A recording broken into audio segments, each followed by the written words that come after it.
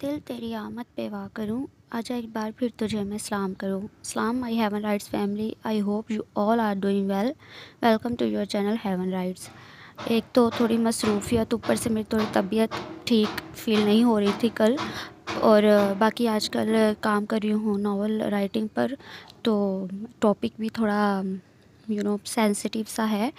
तो उसके लिए बहुत ज़्यादा सोच विचार सर्चिंग मटेरियल और वक्त का फिर आपको तो पता है मैनेज करना मुश्किल हो जाता है। तो डिले के लिए माजरत, बहुत बहुत सारी रिक्वेस्ट जमा हो गई हैं और अब पूरा तो करनी है सारी बात है, लेकिन टाइम मैनेजमेंट का थोड़ा इशू आ रहा है तो किसी की पहले पूरी हो जाएगी, किसी की बाद में पूरी होगी, लेकिन इन इंशाल्लाह पूरी ज़रूर होगी। इतना आप लोगों को पता है कि मैं पूरी ज़रूर करती होती हूँ रिक्वेस्ट बाकी आज का जो हमारा नावल है वो एक लाइट फ़नी कॉमेडी सा नावल है हमारी कहानी बाय बाय सुमेरा हमीद। बाकी सुमेरा हमीद तो बहुत ज़्यादा फ़ेमस राइटर हैं सभी जानते हैं। अभी रिसेंटली यारम पढ़ने का इतफ़ाक़ दोबारा हुआ तो अभी मैं उसके असर से ही निक, नहीं निकली हूँ। बार बार जहन में कार ला जाता है आलियान अमरा। तो बस सोचा कि क्यों ना एक और सुमेरा हमीद का नावल ही रीड किया जाए। तो चलें स्टार्ट करते हैं। उम्मीद है आप लोगों को बहुत पसंद आएगा और चैनल को सब्सक्राइब करें, लाइक करें और कमेंट भी कर देना और दिल करे तो शेयर भी कर देना, यानी सोने पर सुहागा कर दिया करो। तो चलो बिना देरी किए अभी हम नावल स्टार्ट करते हैं। मैंने अपनी ज़िंदगी में हमेशा इस सनसनी को मिस किया था, जिसका शिकार हर वो लड़की होती है, जो अपने मंगेतर के बारे में बात करती है। सनसनी मुस्बत मायने में ना कि मेरी तरह मनफी में कि जैक का ख्याल आते ही मेरा सर ऐसे चकराने लगता है, जैसे बहुत सारी चमगादड़ें मेरे सर में घुस कर आपस में पकड़म पकड़ाई खेल रही हूँ। मैं अक्सर सोचती हूँ कि एक मंगेतर में ऐसा क्या होता है कि इतने अहतमाम से इसके बारे में बात की जाए, जैसे स्कूल में, कॉलेज में लड़कियाँ करती हैं, इसके लुक की, इसके शहर की, इसके स्टाइल की। इसकी मुस्कुराहट की हती के इसके सुनाए लतीफ़ों की भी। जिनकी मंगनी नहीं हुई होती, इन्हें फ़िक्र लाक रहती है कि इनका वो, कैसे इनकी मोहब्बत में मुबतला होगा। या दरअसल इसे कैसा होना चाहिए? इसके लिए वो बाकायदा फ़िल्मों के सीन जहन में रख कर इन में से छांटी करने लगती हैं कि कौन सा best falling in love scene है। इन्हें यह सोचे भी घेरे रखती हैं कि इस खास इंसान को इन्हें प्रपोज़ कैसे करना होगा। फ़ोन पर बातें कैसे करनी होंगी? सालगिरह पर कहाँ डिनर के लिए ले कर जाना होगा? और गिफ्ट को किस खास अंदाज से इनके दरबार में पेश करना होगा? मुझे हैरत होती है कि एक मंगेतर को लेकर इतना कुछ कैसे सोचा जा सकता है। मंगेतर, क्या कोई और ही मखलूक होती है जो आपकी ज़िंदगी को गुब्बारों फूलों कैंडल लाइट डिनर और गिफ्ट से भर दे, या वो आपसे ऐसी बातें कहे जैसे किसी ने ना की हो। यानी कौन सी ऐसी बात है जो किसी ने कभी ना की हो? मैं सोचने पर मजबूर हो जाती या आसपास की लड़कियाँ मुझे सोचने पर मजबूर कर देती और फिर अगर किसी दोस्त से पूछ ही लेती तो वो हंस कर कह देती, तुम पागल हो। मेरी इंग्लिश अच्छी है, लेकिन फिर भी मैं नट को अखरोट समझ लेती। पता नहीं क्यों, मुझे नट से अखरोट याद आता और ऐसे लगता कि कहा जा रहा है, तुम अखरोट की तरह हो। सख्त और थोड़ी सी नमकीन, ज़्यादा खा लेने पर कुछ कुछ कड़वी भी। ऐसी लड़की जिसे ज़्यादा ना खाया जा सकता है, रोज़ाना, और ये भी कि तुम अखरोट के खोल में बंद हो। मुझे घुटन होने लगती है कि क्या मैं अखरोट के खोल में बंद लड़की हूँ? इतने चुन्ने मुन्ने से अखरोट के खोल में बंद। उफ़, लेकिन क्यों? क्या सिर्फ़ इसलिए कि मैं एक नॉर्मल मंगेतराना लाइफ नहीं गुजार रही? मैं ये मालूम नहीं कर पाई कि मंगेतर कैसे हुआ जाता है, या मंगेतर को कैसे रखा जाता है, यानी मंगेतर का मशरफ़ क्या है? जहाँ तक गुब्बारों, फूलों और डिनर की बात है तो मैं अब तक इन मामलात में तबाहशुदा नहीं, बल्कि आफत ज़दा हूँ। जहाँ तक गिफ्ट्स देने और लेने की बात है तो इसमें दोनों तरफ़ से धांधली की जाती है और हर बार की जाती है। फ़ोन करने की बात तो ऐसे ही है, जैसे चाँद पर जाकर टाटा करने की। हम दोनों के वालदेन ने अपनी सी कोशिश की है कि हम कम से कम फ़ोन पर बात कर लिया करें, लेकिन हम दोनों ने अपनी पूरी सी कोशिश की कि भाड़ में जाइए। मुझे कोई ज़रूरत नहीं इसके मुँह लगने की। जो सामने से अच्छा नहीं लगता, वो फ़ोन पर क्या अच्छा लगेगा? हम दोनों ने कभी सीधा मुँह एक दूसरे से बात भी नहीं की, फिर भी हम मंगेतर के अहदे पर फाइज हैं। हम दोनों ने एक दूसरे से जान छुड़ाने का कोई एक मौका भी जाने नहीं दिया। फिर भी हम मंगनी शुदगान हैं। बिलाशुबा ये खुला तजाद है। इसीलिए बचपन से अब तक के तल्ख तजर्बात से अटे मंगेतराना फ़ेज़ में मैंने तो यही जाना कि मंगेतर इज़ ए नट। अब जब कि मैं कॉलेज की स्टूडेंट हूँ और जल्द ही यूनिवर्सिटी जाने वाली हूँ तो मैं ये प्लान करने लगी हूँ कि मैं अपने बच्चों के बचपन में हरगिज़ मंगनी नहीं करूँगी। बल्कि चंद गैर मुल्की फ़िल्मों ने तो मुझे इतना बागी कर दिया है कि मैंने सोचना शुरू कर दिया है कि मैं अपने बच्चों से कहूँगी कि शादी का दिन तय कर लो तो बता देना, मैं शादी में शिरकत कर लूँगी।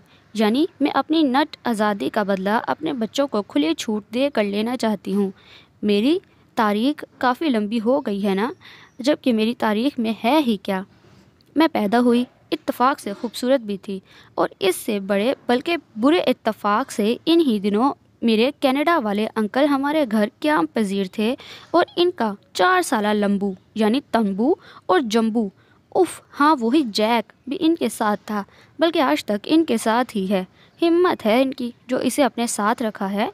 शायद इसीलिए वालदेन का रुतबा इतना अजीम है कि वो ऐसी आफात को भी झेल जाते हैं। वैसे, मुझे अभी भी यकीन नहीं आता कि अंकल ऐसे पेंडू भी हो सकते हैं। अगर अंकल को ऐसा ही देसी टाइप होना था तो वो इतने मॉडर्न मुल्क कैनेडा गए ही क्यों? ये देसी लोग ज़रा नहीं बदलते। अपने बेटे का निक नेम किसी अंग्रेज़ी फ़िल्म के हीरो पर जैक रख दिया और इस अंग्रेज़ी हीरो के लिए पंजाब की लड़की उर्वा का हाथ मांग लिया। जबकि अभी इस बेचारी को गला फाड़ कर रोने से फुर्सत नहीं थी। दूध को पी कर उलट देती और कोई नरम गज़ा इसके पेट में ज़्यादा देर तक ठहरती नहीं थी। ऐसी नो मौलूदगी के ट्रैक से हटी हुई लड़की को उन्होंने अपनी बहू के तौर पर पसंद कर लिया। दफ़ा करते, फिर कनाडा को यहाँ पंजाब में देहातों की कमी थी क्या? यहीं रहते और करते, बचपन की मंगनियाँ, बल्कि निकाह भी कर देते। वैसे दस साल की उम्र में मेरे जहन में ये प्लान परवरिश पाने लगा था कि अगर मेरा निकाह करने की कोशिश की गई तो मैं पुलिस बुला लूँगी। मुझे बहुत शौक़ था कि अखबारों में मेरी खबर आती कि दस साल बच्ची का निकाह मौलवी और सास ससुर को दुल्हे समेत हवालात में बंद कर दिया गया।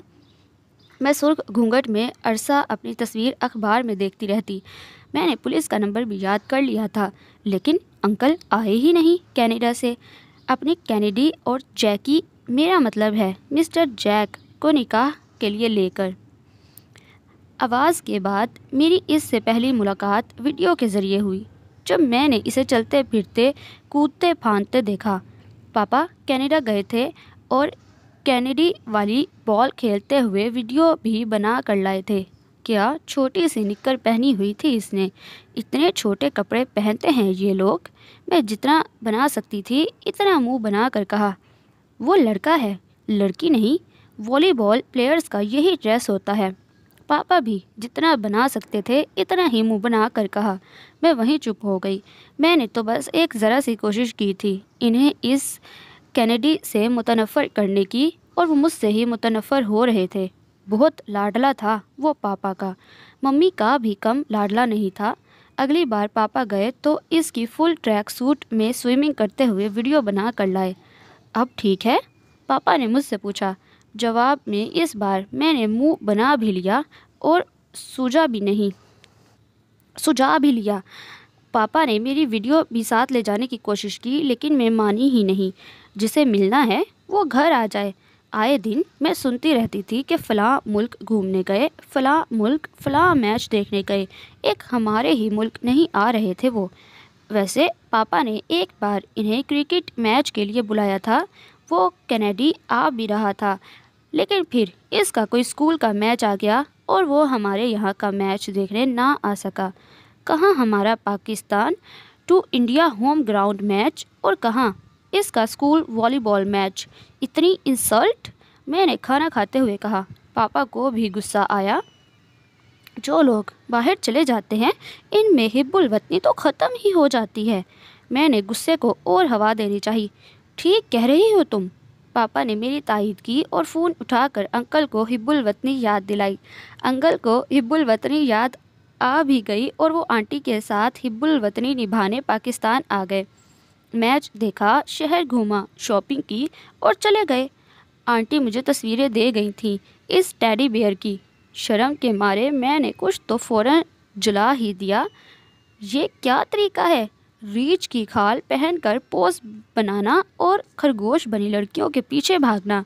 वैसे पता नहीं, ऐसी नर खरगोशनियाँ किस जंगल में पाई जाती हैं जो ऐसी छोटी छोटी फ्राकें पहनती हैं? मेरी खाला की चार साल की बेटी भी इससे बड़ी फ्राकें पहनती होगी, जो इसकी खरगोशनियों ने पहनी थी।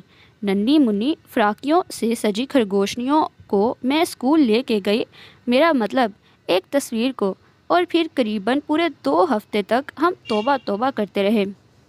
मेरी क्लास में वो तस्वीर खूब घूमी अब जो लड़कियों ने इन लड़कियों की फ़्राकों पर जहन्नुम के दरवाज़े खोले कि मैं भी दो हफ़्ते खौफ के मारे सो नहीं पाई। बाद में हम दोस्तों ने ने मिलकर, मार्कर कलर से इन बेचारियों को पूरे कपड़े पहनाए, इन्हें लिबास याफ्ता किया। अगली बार जो तस्वीरें आईं, वो पहले से ज़्यादा शर्मनाक थी। कोई मैच था इसका। जैक काफ़ी शोखा हो रहा था। अपने दोस्तों और सहेलियों के साथ वो अब एक दूसरे को खींच रहे थे।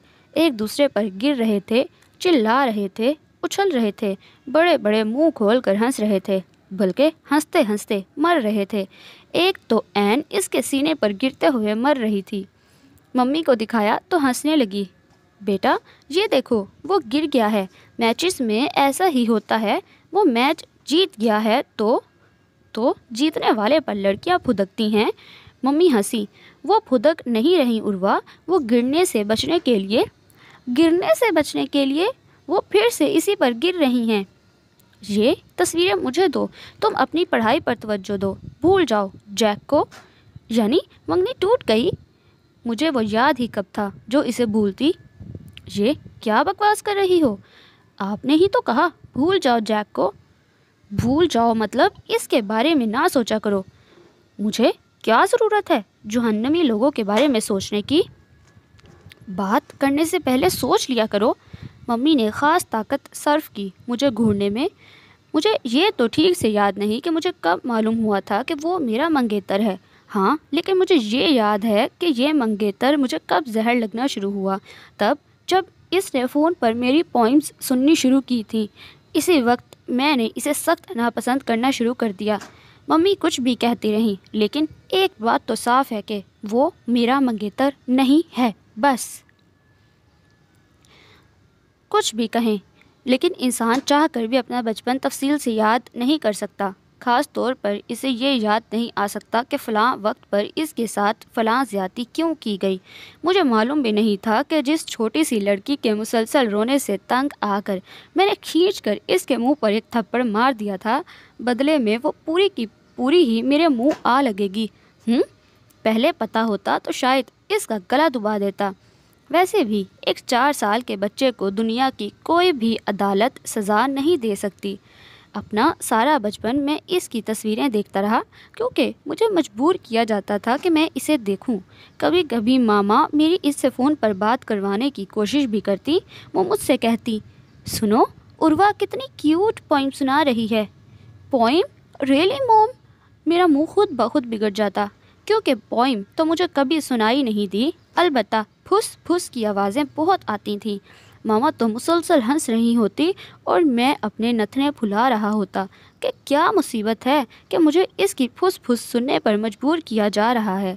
इसी फुस फुस की वजह से मेरी नाक काफ़ी फूल गई थी और मेरे स्कूल के लड़कों ने मुझे अजीबो गरीब नामों से बुलाना शुरू कर दिया और वो थी कि बाज ही नहीं आ रही थी। आए दिन इसने किसी न किसी कव्वे, हाथी, चिड़िया, तोते की नज़म सीखी हुई होती। मामा, ये क्या पूरे जंगल की पॉइंट्स मुझे सुनाएगी? इतनी ही प्यारी बच्ची है तो फुस फुस क्यों करती है? शट अप कितने बदजोक हो तुम। शट अप टू मी बहुत बदजोक हूँ मैं। प्लीज़ मुझे दोबारा फ़ोन मत पकड़ाइएगा। मैंने मामा से कहा, जो ज़ाहिर है, मामा ने नहीं सुना। और अगली बार फिर से मुझे फ़ोन पकड़ा दिया। इस बार वो टर्न पर पॉइंट सुना रही थी। अगली पॉइंट यकीनन ट्रेन के मुसाफिरों पर आने वाली थी। इससे अगली ट्रेन स्टेशन पर और इससे अगली ट्रेन ड्राइवर पर और फिर फिर फिर शायद यह सिलसिला कभी ख़त्म ना हो। आंटी, कैसी लगी आपको मेरी पोइम शायद वो समझी कि मामा सुन रही हैं। बहुत बुरी, नहायत बकवास और तुम्हारे मुँह की बदबू यहाँ कनाडा तक आ रही है। कौन सा पेस्ट यूज़ करती हो तुम? पता नहीं, मम्मी बुरश पर लगा कर देती हैं। इसकी रुंधी हुई आवाज़ आई। अब क्यूट लग रही थी वो। बुरश पर क्या? सर। बुरश पर क्या शू पॉलिश लगाती हो डफर? नहीं, टूथ पॉलिश इस दिन मेरी मालूम में इजाफ़ा हुआ कि टूथपेस्ट को टूथ पॉलिश भी कहा जा सकता है। अगर ये बात मुझे क्यों नहीं सूझी? इससे सोसाइटी में थोड़ा चेंज भी आ जाता और डिक्शनरी को एक नया लफ्ज़ भी मिल जाता। जब तुम पॉलिश लगाती हो तो क्या दांतों को टॉवल से ड्राई करती हो? नहीं, मम्मी तो कहती हैं, दांत खुद ब खुद ड्राई हो जाते हैं। खुद ब खुद ड्राई नहीं होते। अच्छा तुम्हारे मामा के पास हेयर ड्रायर है? हाँ है। अभी जाओ, दांत पॉलिश करो और प्लग लगाओ और ड्रायर बटन ऑन कर दो। पूरा मुँह खोल कर ठीक से ड्राई करना, फिर पॉइंट सुनाना मुझे। पता नहीं इस दिन इसके दांत ठीक से ड्राई हुए या नहीं, लेकिन फिर दोबारा मामा ने मुझे फ़ोन पकड़ा कर ये नहीं कहा कि सुनो सुनो, कितनी क्यूट लग रही है। मुझे लड़कियाँ सिर्फ़ इस वक्त ही क्यूट लगती हैं जब वो हलक फाड़ कर रोती हैं। और क्यों रोती हैं? क्योंकि हम लड़के घूंसे मार कर इनका भरकस निकाल देते हैं। हम दो दोस्तों ने मिलकर ऐसे कई घूंसे। इन पापास डोल्स को मारे। और इस वक्त तक मारे जब तक मुझे एक हफ़्ते के लिए कमरे में बंद नहीं कर दिया गया। मेरे मॉम डैड को मेरा ये मशगला पसंद नहीं आया था। मुझे एतराज़ था कि मुझे इनकी पसंद, नापसंद की परवाह नहीं, लेकिन इशू सिर्फ़ एक था। मैं अभी तक इन ही के घर से खाता था और इत्तेफाक से मेरा कमरा भी इन ही के घर में था और बदकिस्मती से मेरे सारे कपड़े, जूते डैड के पैसों से आते थे। अगर ये बदकिस्मती हम बच्चों के नसीब में ना लिखी होती तो हम इन पापास डॉल्स का सफाया करके दुनिया को जन्नत बना देते। फ़ोन पर नज़म के साथ साथ इसकी तस्वीरें भी गाहे बगाहे घर आती रहती। कैसी अजीब बच्ची थी, जैसे रोबोट। कभी दरख्त के पास खड़ी है, कभी कुर्सी पर बैठी है, कभी गुड़िया हाथ में लिए अपने बेड पर नीम दराज है। ज़्यादा हवा हो तो साइकिल चला रही है। मामा, इस इस शी अलाइव? तो तुम्हें ये मुर्दा लगती है? इसकी हर तस्वीर किसी मुजस्मे की तरह है। पूरी पचास तस्वीरें इस दरख्त के पास देख चुका हूँ। आखिर क्या खास है इस दरख्त में? कहाँ पाया जाता है ये दरख्त? वो लड़की है।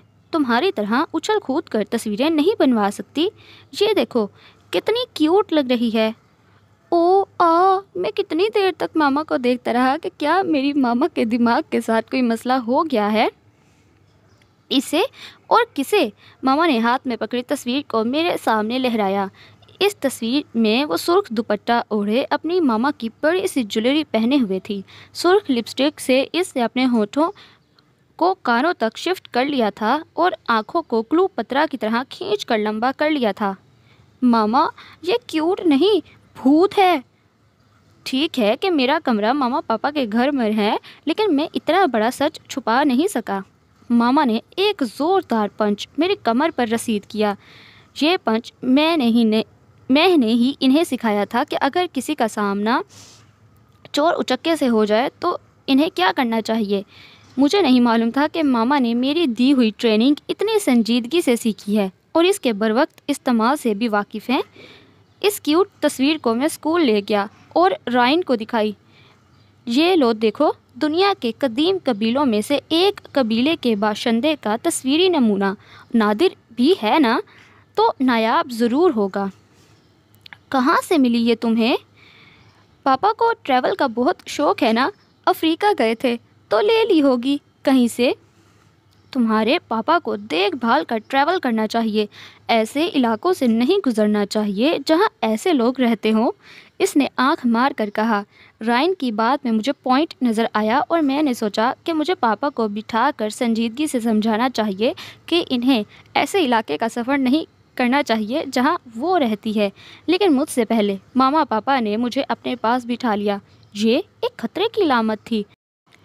वो दो मौक़ों पर मुझे ख़ास ऐसे अपने पास बिठाते जब स्कूल से मेरी कोई शिकायत आई होती या इन्हें मालूम हो जाता कि मैं इनकी कार में अपने दोस्तों को ठुंसा कर इसे दुड़ाता रहा हूँ।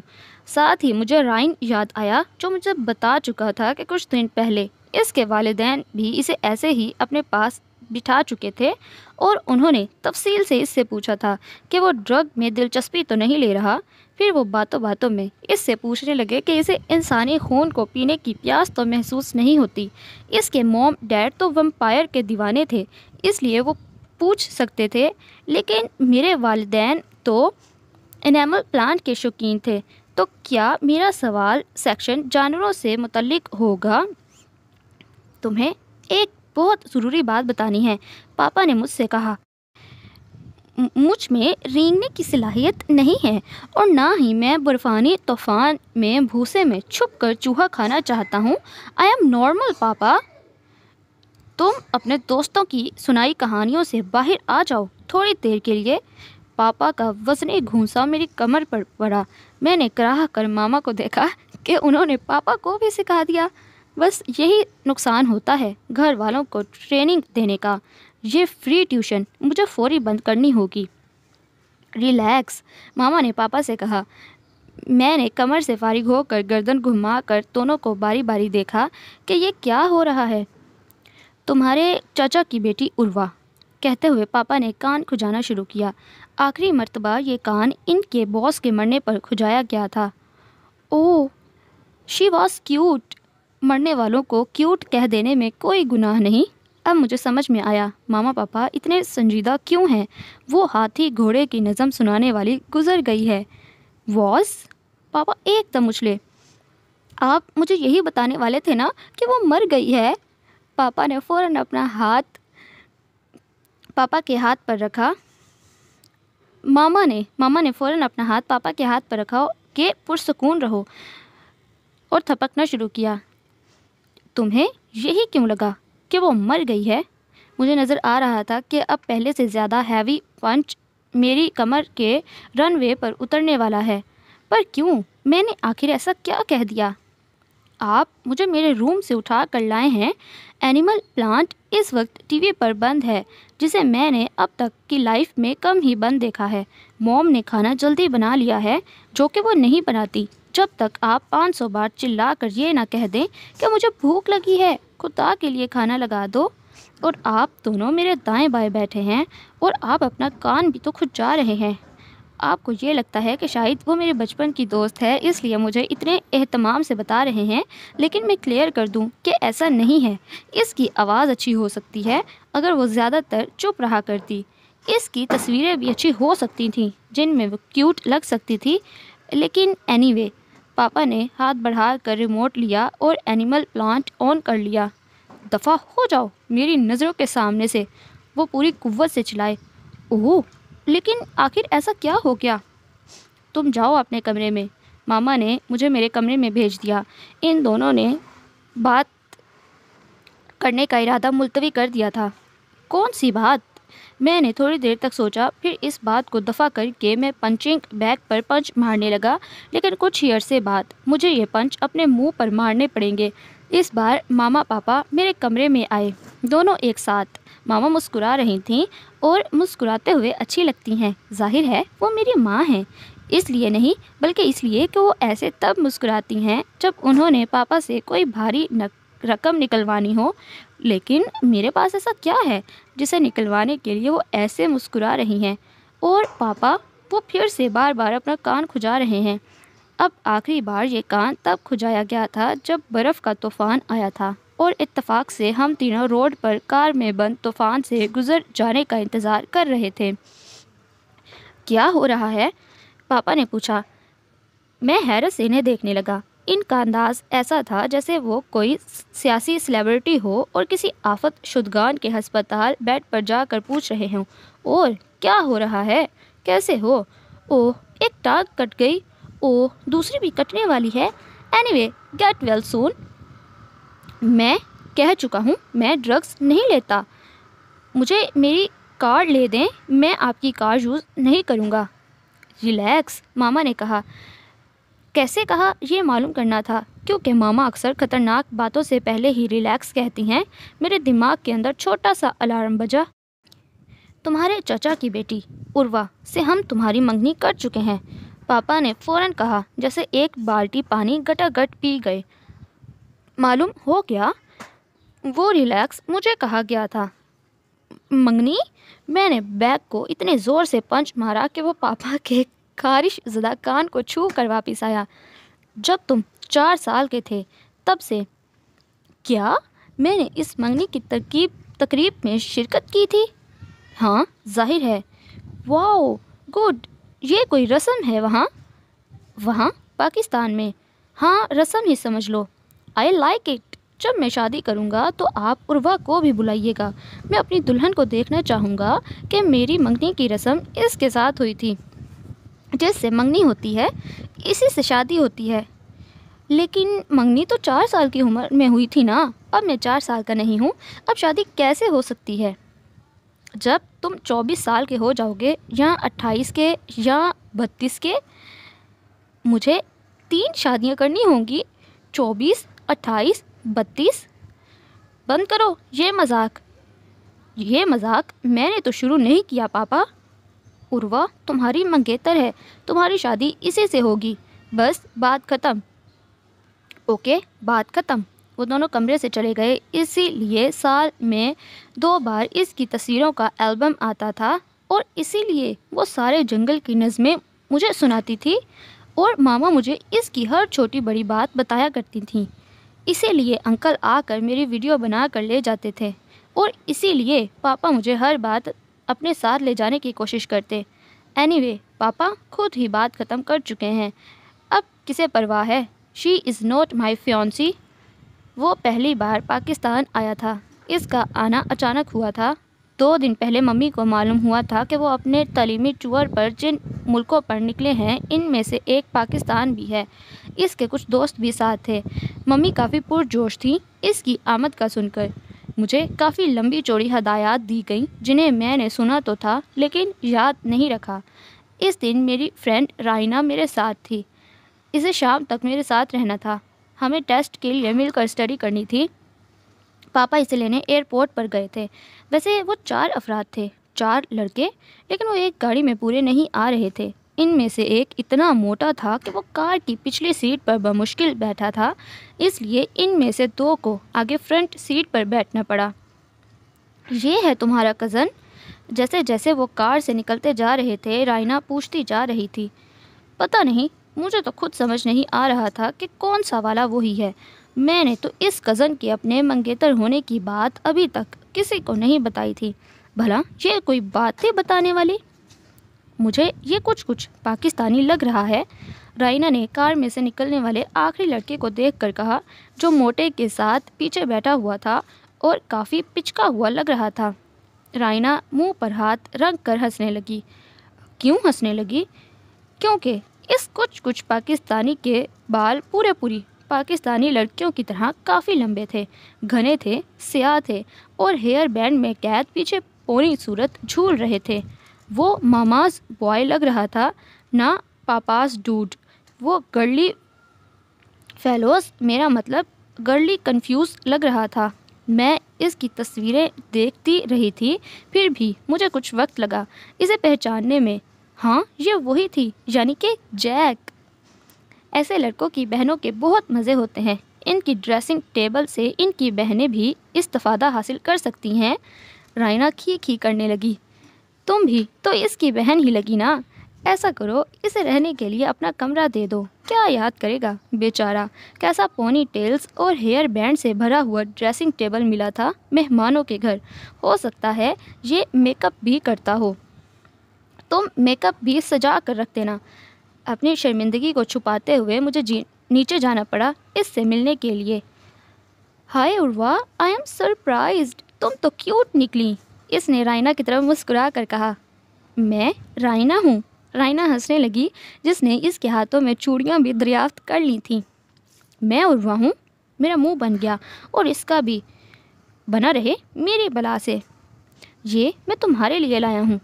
अगले दिन वो मेरे कमरे में आया और एक डब्बा मेरे आगे किया। शुक्रिया, मैंने डब्बे को लापरवाही से टेबल पर उछाल दिया। इसे खोलो, देखो और मुझे बताओ कि कैसा लगा। इसने ऐसी आवाज़ में कहा जो मैं सुनने की आदि नहीं थी। वो अभी अभी शॉवर लेकर निकला था और इसके लंबे घने बालों की लटों से पानी टप टप, टपक रहा था। तुम्हें ड्रायर चाहिए? मैंने इसके गीले बालों पर तंज किया। मेरे पास ड्रायर है। मैं ज़्यादा यूज़ नहीं करता। बाल ख़राब हो जाते हैं। ओह, तुम्हें तो काफ़ी कुछ मालूम है। देखो ज़रा, तुमने तो अपनी शर्ट के साथ मैचिंग हेयर बैंड लगाया है। अच्छा होता। अगर तुम बालों के दो हिस्से करके इन पर पिंस भी लगा लेते। फ़ैशन में इन है। वो चलता हुआ मेरे ड्रेसिंग टेबल तक गया और मेरा हेयर ब्रश पकड़कर बालों के दरमियान से दो हिस्से किए और मेरी गुलाबी बटरफ्लाई पिंस जिसके हमा वक्त उड़ान भरने जिनके पर हमा वक्त उड़ान भरने को लगते थे को उठाकर दोनों तरफ़ सामने लगा लिया। अब ठीक है। वो मुस्कुरा कर पूछ रहा था मेरा दिल चाहा कि वार्ड्रोब खोल कर इसे अपना दुपट्टा भी दे दूँ, बल्कि दे क्या दूँ? इसके सर पर उड़ा दूँ। फिर पापा के पास ले जाऊँ कि, लें, आ गई, आपकी बहू। इसका घूंघट उठाए और दे इसे सलामी। खोलो इसे। बटरफ्लाइज इसके गीले बालों में खड़ी खड़ी उड़ रही थीं।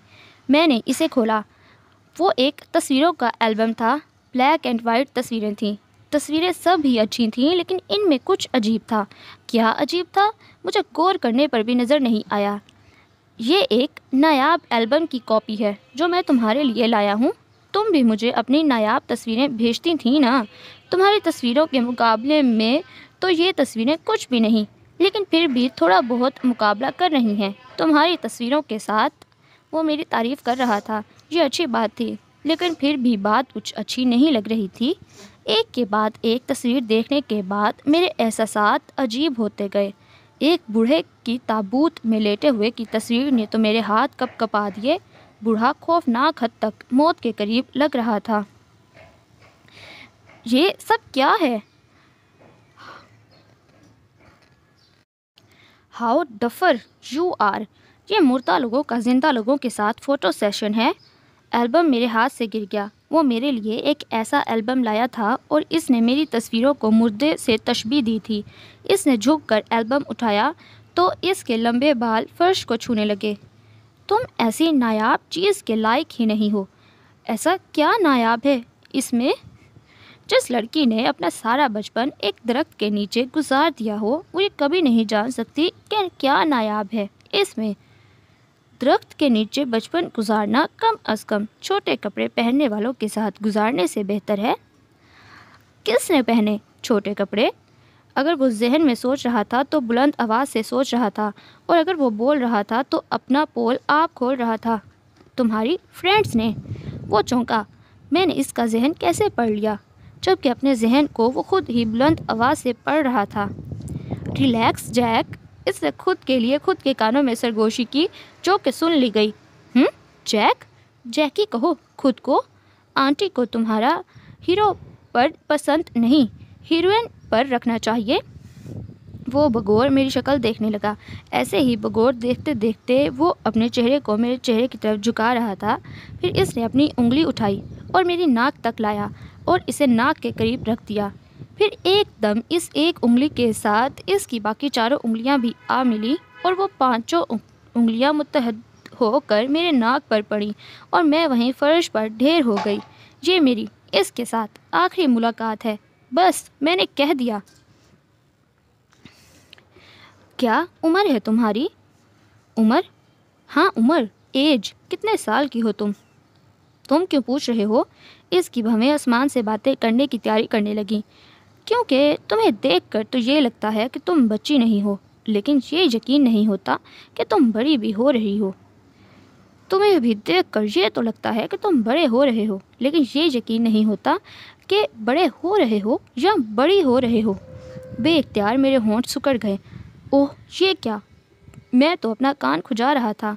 क्या मुसीबत है? ये मोरसी बीमारी भी ना? कानों में बाली, हाथों में कंगन, माथे पर झूमर। कब पहनोगे? इसने सर को तिरछा करके पूछा, उफ, मुझे अपना कान काट डालना चाहिए। नहीं, इसकी ज़ुबान। ये मेरी, इससे पहली मुलाकात, पहली बातचीत थी। वो एक अच्छी लड़की हो सकती थी, अगर इसकी ज़ुबान इतनी ना चलती। मैं भी इससे अच्छी तरह पेश आ सकता था, अगर वो मुझे जैकी या कैनेडी ना कहती। वैसे मैंने कोई कोशिश नहीं की कि वो मुझे अच्छी लगे। मैंने ये कोशिश भी नहीं की कि मैं इसे अच्छा लगूं। मुझे वो बोझ लगती थी जिसे इसके पैदा होते ही मेरे सर पर लाद दिया गया। बचपन की मंगनी कम से कम मेरे लिए तो किसी मुसीबत से कम नहीं है। खैर तो जब मेरी उंगलियाँ इत्तेहादी बनकर एन इसकी नाक पर हमला आवर हुई तो वो फ़ौरन से पहले फ़र्श पर ढेर हो गई। अच्छी अदाकारा थी वो, लेकिन गलत जगह पर अपनी परफॉर्मेंस दे रही थी। क्योंकि ना इसका कमरा स्टेज था और ना मैं तमाशाई जो इसके लिए तालियाँ बजाता हती कि इसके घर वालों ने भी इसके नॉक आउट होने का कोई ख़ास नोटिस नहीं लिया, क्योंकि बच्चे तो आपस में लड़ते ही रहते हैं। इसलिए मेरा पंच कोई इतना बड़ा इशू नहीं बना। वैसे ये बात मेरी समझ में नहीं आई कि वो सिर्फ़ एक पंच खा कर दो दिन बिस्तर पर ढेर रही, वो इतनी बीमार थी कि बिस्तर से हिल नहीं सकती थी। अच्छा होता अगर वो एक दिन बीमार रहती और दूसरे दिन फोत हो जाती। लेकिन इसका फोत होने का कोई प्रोग्राम नहीं था। मुझे इसके रूम में जाना पड़ा। एल्बम मेरे हाथ में था। मैंने इसकी हम उम्र एक लड़की की तस्वीर इसे दिखाई, जो मर चुकी थी और अपनी ज़िंदा सहेलियों के साथ ऐसे खड़ी थी जैसे वो खुद भी ज़िंदा हो। तुम अपनी फ्रेंड्स को बुलाकर ऐसी ही एक तस्वीर ले लो। इससे पहले कि तुम मर जाओ और हमें ये कहना पड़े, ज़िंदा होते तो तुमने कोई यादगार तस्वीर नहीं ली। कम से कम तुम्हारे बिस्तर मर्ग की तस्वीर यादगार होनी चाहिए। मम्मी, वो ज़ोर से चिल्लाई।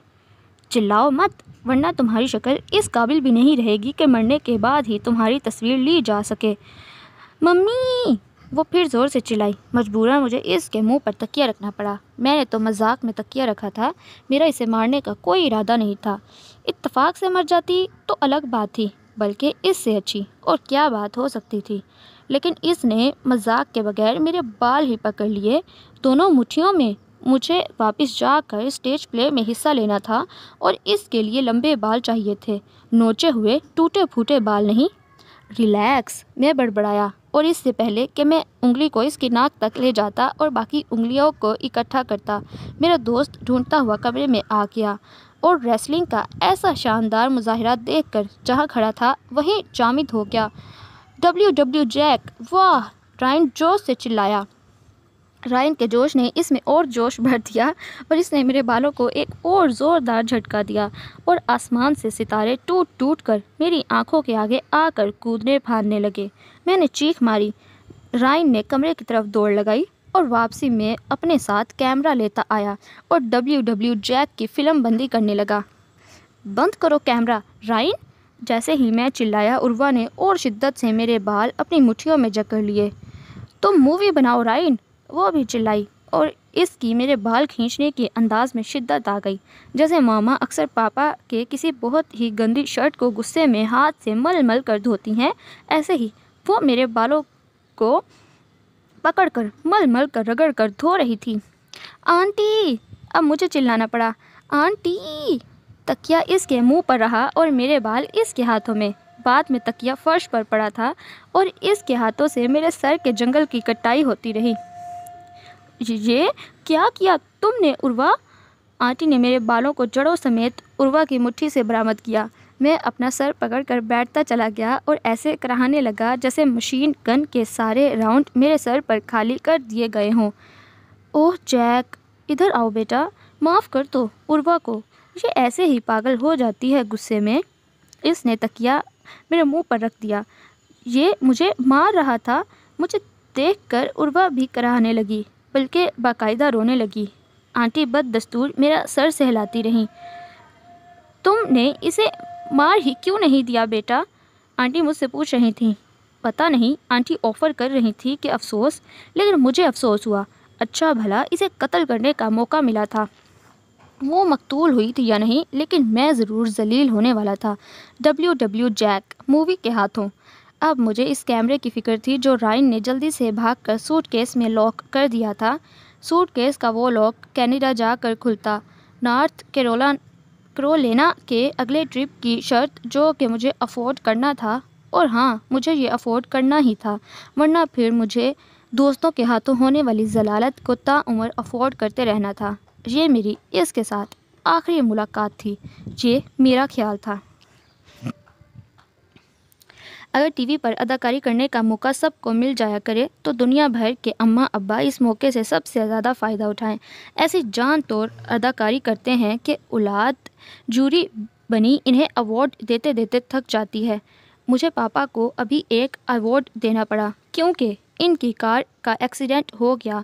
कार सारी की सारी तबाह हो गई। यहाँ तक तो सब हकीकत है। अवार्ड तब आया जब पापा ने इस कार की तस्वीर तो भेज दी कनाडा कि मेरा एक्सीडेंट हो गया, कार तबाह हो गई। लेकिन अपनी सलामती की नहीं भेजी, कि मैं ज़िंदा सलामत ठीक ठाक हूँ। और फिर फ़ोन पर अंकल से ऐसे बात की कि मैं एन सामने सोफ़े पर बैठी इन फ्रैक्चर्स को ढूँढने लगी जो इनके जिसम पर तो थे, लेकिन किसी इंसानी आँख को दिखाई नहीं दे रहे थे। खौफ ज़्यादा हो क्या हूँ। शायद अब कभी कार का सफ़र ना कर सकूँ। दिल बहुत सहमा हुआ है, पापा कह रहे थे जबकि अभी अभी वो मामी, मम्मी के साथ डिनर करके आए थे, कार में चलते चलते लड़खड़ा कर गिर जाता हूँ। हाँ शायद ऐसा भी कमज़ोरी हो गई है। दिमाग में भी कोई मसला हो सकता है। जी नहीं, आपको आने की ज़रूरत नहीं, मैं ठीक हूँ। दिमाग के टेस्ट का कहा है डॉक्टर ने। नहीं नहीं, मैं ठीक हूँ। दिल के टेस्ट भी करवाने हैं। अरे नहीं भाईजान, ऐसे क्यों घबरा रहे हैं आप? अच्छा कब? ये लें पापा, मैंने स्कूल में जीती अपनी ट्रॉफ़ी ला कर पापा को दी। ये क्या है? वो मुस्कुराने लगे। इसलिए नहीं कि ट्रॉफ़ी मिली है, इसलिए कि अंकल आ रहे हैं। आपने इतनी अच्छी अदाकारी की अवार्ड तो बनता है। मम्मी मेरी पुश्त पर आई और मेरे बाल खींचे। अगर हमारी इस दुनिया में ऐसी मम्मियाँ ना हुआ करती तो एशियाई लड़कों के बाल भी इतने लंबे ना हुआ करते। कुछ चीज़ें सिर्फ़ रवायात से ही मिलती हैं, न तेल से, न शैम्पू से। सिर्फ़ बाल खींचने की रवायत से भाई हैं इनके, बुला सकते हैं। बहाने से बहन भाइयों में यही लाड़ प्यार, मज़ाक का रिश्ता होता है। मुझे क्या पता बहन भाइयों में कैसा रिश्ता होता है। मेरा छोटा भाई तो यहाँ सोता रहता है या क्रिकेट खेलता रहता है। इसे तो अक्सर याद करवाना पड़ता है। मैं तुम्हारी बहन हूँ। मेरा नाम उर्वा है। याद आया कुछ? तुम मेरी बहन हो? तुम्हारा नाम उर्वा है? दफ़ा करो ऐसी यादाश्त को। ये मेरे भाई का हाल है। वैसे पापा की ऐसी जानदार अदाकारी का ये नतीजा हुआ कि अंकल और आंटी और मिस जैकी हफ़्ते के अंदर अंदर हमारे घर में मौजूद थे। इस बार फिर से मुझे मिस जैकी को पहचानने में वक्त लगा। अब वो गंजा हो चुका था। आम गंजा नहीं हुआ था। जैसे खेतों में हल चलाते हैं तो ज़मीन हो जाती है। ऐसे ही इसके सर की ज़मीन थी। मुझे ख्याल आया कि पिछली बार मैंने जो इसके बालों को जड़ों समेत उखाड़ा था, कहीं ये हल इसकी वजह से तो इसके खेत में नहीं चलवाया। अगर ऐसा है भी तो किसे परवाह है? मेरी नाक भी हर साल सर्दियों में सुर्ख होकर सूट जाती है और मुझे सांस लेने में मसला दरपेश रहता है।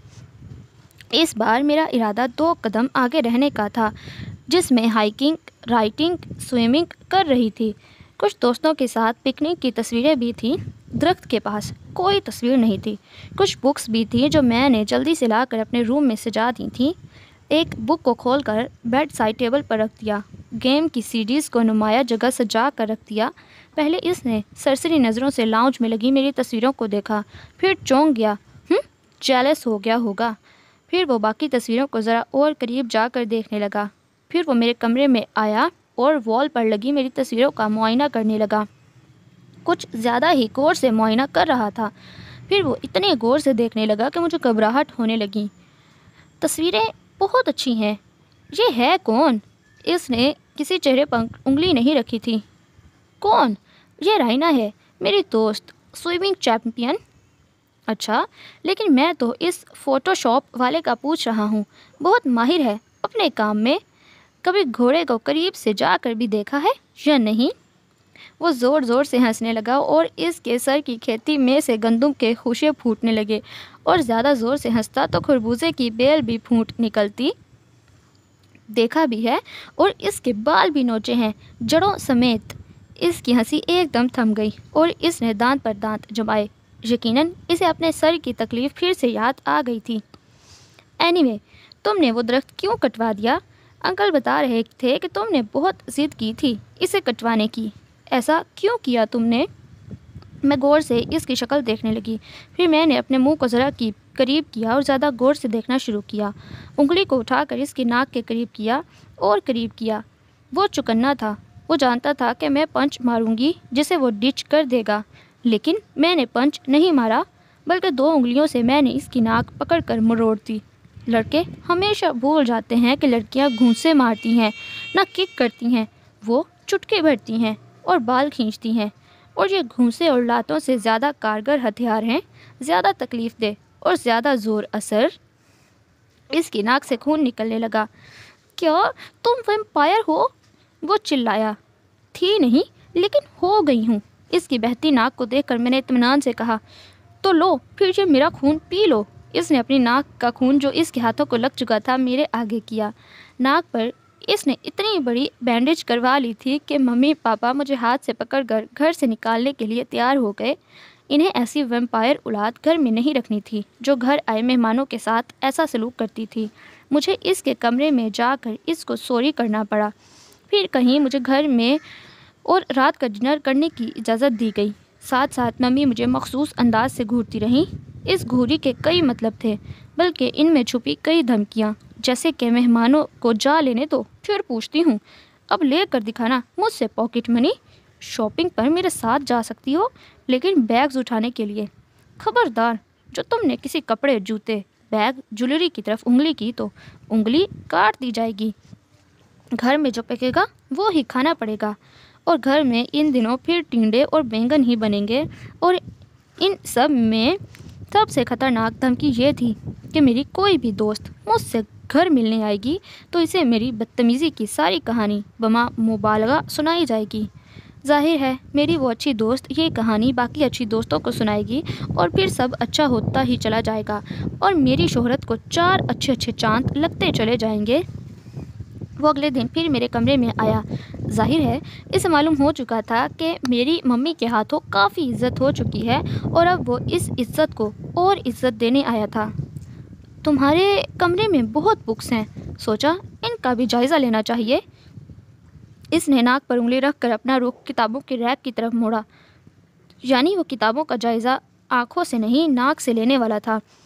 दिल तो चाह रहा था इसकी नाक को खींचकर हाथी की नाक बना दूँ, पर मम्मी की ज़माना माजी की घूरी ने मुझे रोक लिया।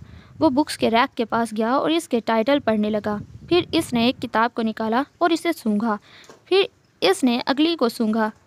कैचअप लाऊं, इन पर डाल कर भी खा लो। मुझे इसका सूंघना बुरा लगा। नई किताबों की खुशबू बहुत अच्छी होती है। वैसे तुम इतनी बुक्स पढ़ती हो। वाह इसने बुक्स के रैक पर उंगली रख कर इसे दूर तक घसीटा और घसीटता ही चला गया।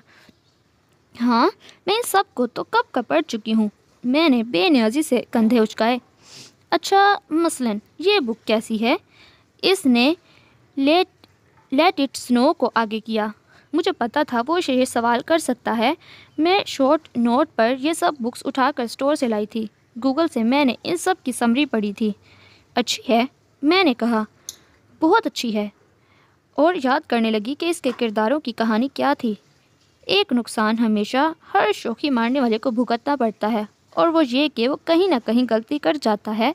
मैंने आठ दस किताबों की समरी पढ़ ली थी और अब वो समरियाँ एक दूसरे में मिक्स हो रही थी। बस यही गड़बड़ हो रही थी। मुझे ये किताब अच्छी लग रही है, लेकिन मैं हर किताब नहीं पढ़ता। वैसे यह जुबली, ये क्या है? इसमें इसने वर्क गिरदानी करते हुए पूछा, जुबली, सारी समरियाँ जो मेरे जहन में गड मड हो रही थीं, इनमें इनमें मैं जुबली को ढूँढने लगी। मिल जा जुबली मिल जा ओ, क्यूट वो बड़बड़ाया जो मैंने सुन लिया और फ़ौरन बोली, यस क्यूट कैट मुझे याद आ गया। जो बिल्ली, जुबली एक बिल्ली का नाम था और जुबली हो ही क्या सकती है? कैट जुबली बिल्ली है? इसने नाक से खुली किताब पर गौर किया, फिर अपनी नाक को सफ़े पर टिकाया और फिर सर उठाकर अपनी नाक से मुझे ताड़ा। तुम खुद पढ़ लो, ये कहना ज़्यादा महफूज था, इसलिए मैंने कह दिया। इसने सारी किताबों को रैक से निकाला और इन सब के पहले सफ़े मेरे सामने खींचे। ये सब किताबें एक ही दिन खरीदी गई हैं। ये देखो स्टैम्प स्टोर का नाम और तारीख। हमारे आने से एक दिन पहले तुमने दो दिन में पूरी बीस किताबें पढ़ ली। तुमने गिनीज बुक रिकॉर्ड को ट्राई किया। तुम्हें ज़रूर अपनी एंट्री वहाँ भेजनी चाहिए। एंट्री भेजने के लिए मुझे तुम्हारे मशवरे की ज़रूरत नहीं। मशवरे तो अकल वाले लेते हैं, जो तुम्हारे पास है नहीं। वैसे तुमने ये सब क्यों किया, जुबली? इसने अपनी नाक पे लगी बैंडेज को झटके से उतार दिया और नाक समेत मुस्कुराने लगा। मैं अपनी एक्स रेज आँखों से इसे घूर रही थी। इसकी नाक तो बिल्कुल ठीक थी। मुझे मुतासर करने के लिए वो अपनी जैक शर्ट के बाजू फोल्ड करने लगा और मेरा दिल चाह रहा था कि मैं एक बार फिर से इसकी नाक को फोल्ड कर दूँ। मैं तुमसे मुतासर ज़रूर हो जाता। मिस जुबली, अगर मुझे किताबी कीड़े अच्छे लगते। अब वो अपने सर के खेत में हल, मेरा मतलब है, हाथ चलाने लगा। तुम्हें मुतासर करना माई फुट तो फिर ये बुक्स क्यों रखी हैं यहाँ? ये सब मैं पढ़ने के लिए लाई थी। मैं इतनी ही बुक्स पढ़ती हूँ, हर हफ़्ते। तुमने कहा, तुम ये सब पढ़ चुकी हो। मैंने कब कहा ये? मैंने कहा, मुझे ये बुक्स पढ़नी है। ओ ये तो मैं भूल ही गया कि तुम झूठ भी बोल सकती हो। अगर चुबली को मालूम हुआ कि इसे बिल्ली बना दिया गया है तो वो यकीनन नाराज़ होगी, क्योंकि वो एक लड़की है। अच्छा छोड़ो, मुँह खोलो अपना, दांत दिखाओ, टॉवल से ड्राई करती हो या ड्रायर से? और ये वो सबसे ख़राब बात थी जो इसने की। ताज़ा ताज़ा बुरश किए ठंडे दांतों पर गर्म ड्रायर क्या क्या काम करता है? यह वही जानता है जिसने ये किया हो। मेरे दांत तो वैसे भी हसास थे। खोलो मुँह, दिखाओ दांत। टूथ पॉलिश ठीक से यूज़ करती हो ना? बकवास, बंद करो अपनी। मैं चिल्लाई, वो भी चिल्लाया, लेकिन कहका लगाकर, और अपनी नाक पर बैंडेज ठोक कर चला गया। मैं मर जाऊँगी, इससे शादी नहीं करूँगी। पापा, अंकल को अपने साथ कनाडा ले आए थे। इन्हें लगता था कि ऐसे वो जल्द ठीक हो जाएँगे, जबकि मुझे अंकल कहीं से भी बीमार नहीं लगते थे। जब वो बीमार ही नहीं तो ठीक कैसे होंगे? बाद में अंकल, जिनका कहना था कि वो अपनी बेटी को बहुत मिस कर रहे हैं, उन्होंने इसे भी बुला लिया। तुम सारी ज़िंदगी के लिए रहने आई हो? मैंने इसके सामान को देख कर कहा माई फुट, यहाँ रहना। मैं सिर्फ़ अपने पापा के लिए आई हूँ। इतना सामान लेकर हमारे कपड़े बड़े बड़े होते हैं ना? छोटे छोटे नहीं होते? तो बड़े बड़े कपड़े बड़ा सामान ही लगते हैं। चुन्ने मुन्ने हों तो एक छोटे से बैग में आ जाएँ। ओह आई सी लेकिन इस सामान को रखने के लिए हमारे पास बड़े बड़े कमरे नहीं। जब तुम इस मोटू को लेकर हमारे घर आए थे तो हमने तो नहीं कहा था कि इस सांड को लेकर जाओ। हमारे घर से पूरे महीने का राशन वो एक हफ़्ते में खा गया था। मैंने इसकी ज़ुबान की रफ्तार को देखा। वो बहुत ज़्यादा ज़ुबान दराज थी। एक तो ये वजह थी कि मुझे वो बहुत ही ज़्यादा बुरी लगती थी। इतनी बुरी कि मैं इसे अपने घर से दो किलोमीटर दूर वाक़ ठंडे पानी की जमी हुई झील में फेंकने के लिए तैयार था और झील पर पहरा देने के लिए भी तैयार था कि कहीं खुद से ही वो बाहर निकल कर अपनी जान ना बचा ले। वो निकले तो मैं फिर इसे धक्का दे दूँ। इसका निकलना मेरा धक्का। इसको निकलना के जुबले की तरह जान बचा कर निकल ही ना आए। एक दूसरी वजह यह थी कि जब वो गुस्से में तेज़ आवाज़ में बोलती तो इसकी आँखें टेढ़ी हो जाती थीं और मुझे इससे थोड़ा सा खौफ महसूस होने लगता कि कहीं वो कोई वेम्पायर तो नहीं। मैं अपने अंकल के घर रहने आई हूँ। तुम्हारे नहीं। तुम्हारे अंकल मेरे पापा हैं। लेकिन तुम इनके सिर्फ़ बेटे नहीं हो। कभी बेटी, कभी बेटा, कभी जैक, कभी जैकी। वैसे आजकल क्या हो तुम? ओह! वो मेरे नामों पर तंज कर रही थी, जो मामा मुझे बहुत प्यार से देती हैं। आई लव माई मोम आजकल मैं जैकी चैन मैंने जैकी चैन की तरह कराटे का एक बार इसकी गर्दन पर किया। बस इतना ही, और इसने नेक कॉलर पहन लिया। मैं डॉक्टर के पास गया और इनसे इसकी गर्दन के हालात डिस्कस किए। नेक कॉलर की तो बिल्कुल ज़रूरत नहीं थी, वो तो बिल्कुल ठीक है। उन्होंने कॉलर क्यों पहना है? डॉक्टर पूछ रहे थे। ताकि मेरी गर्दन ठीक ना रहे। मैंने अपनी गर्दन को मसला। मैं डॉक्टर से पूछ आया हूँ, तुम ये ड्रामा बंद करो। उतारो ये नेक कॉलर मैं घर आया और सीधा इसके पास गया।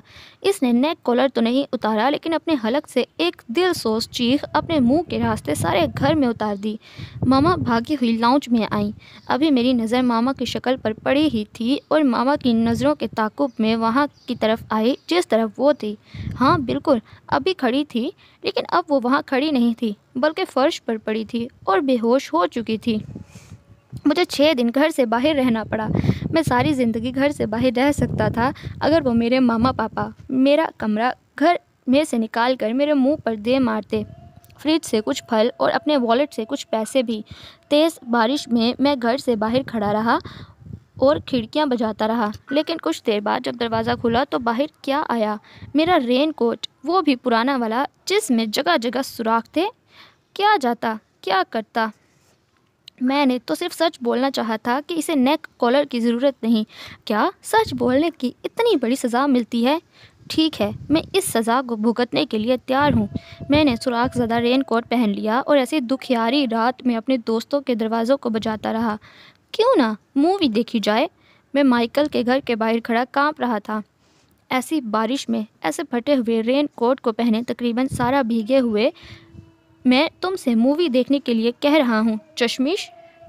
तुम्हारा पहले तो ऐसा कोई इरादा नहीं था। इसने अपने चश्मे को उतार कर गौर से मुझे देखा। सिर्फ़ माइकल ही ये कर सकता था। चश्मे को उतार कर देखना। तुमने पहले तो कभी इतने सवाल नहीं किए।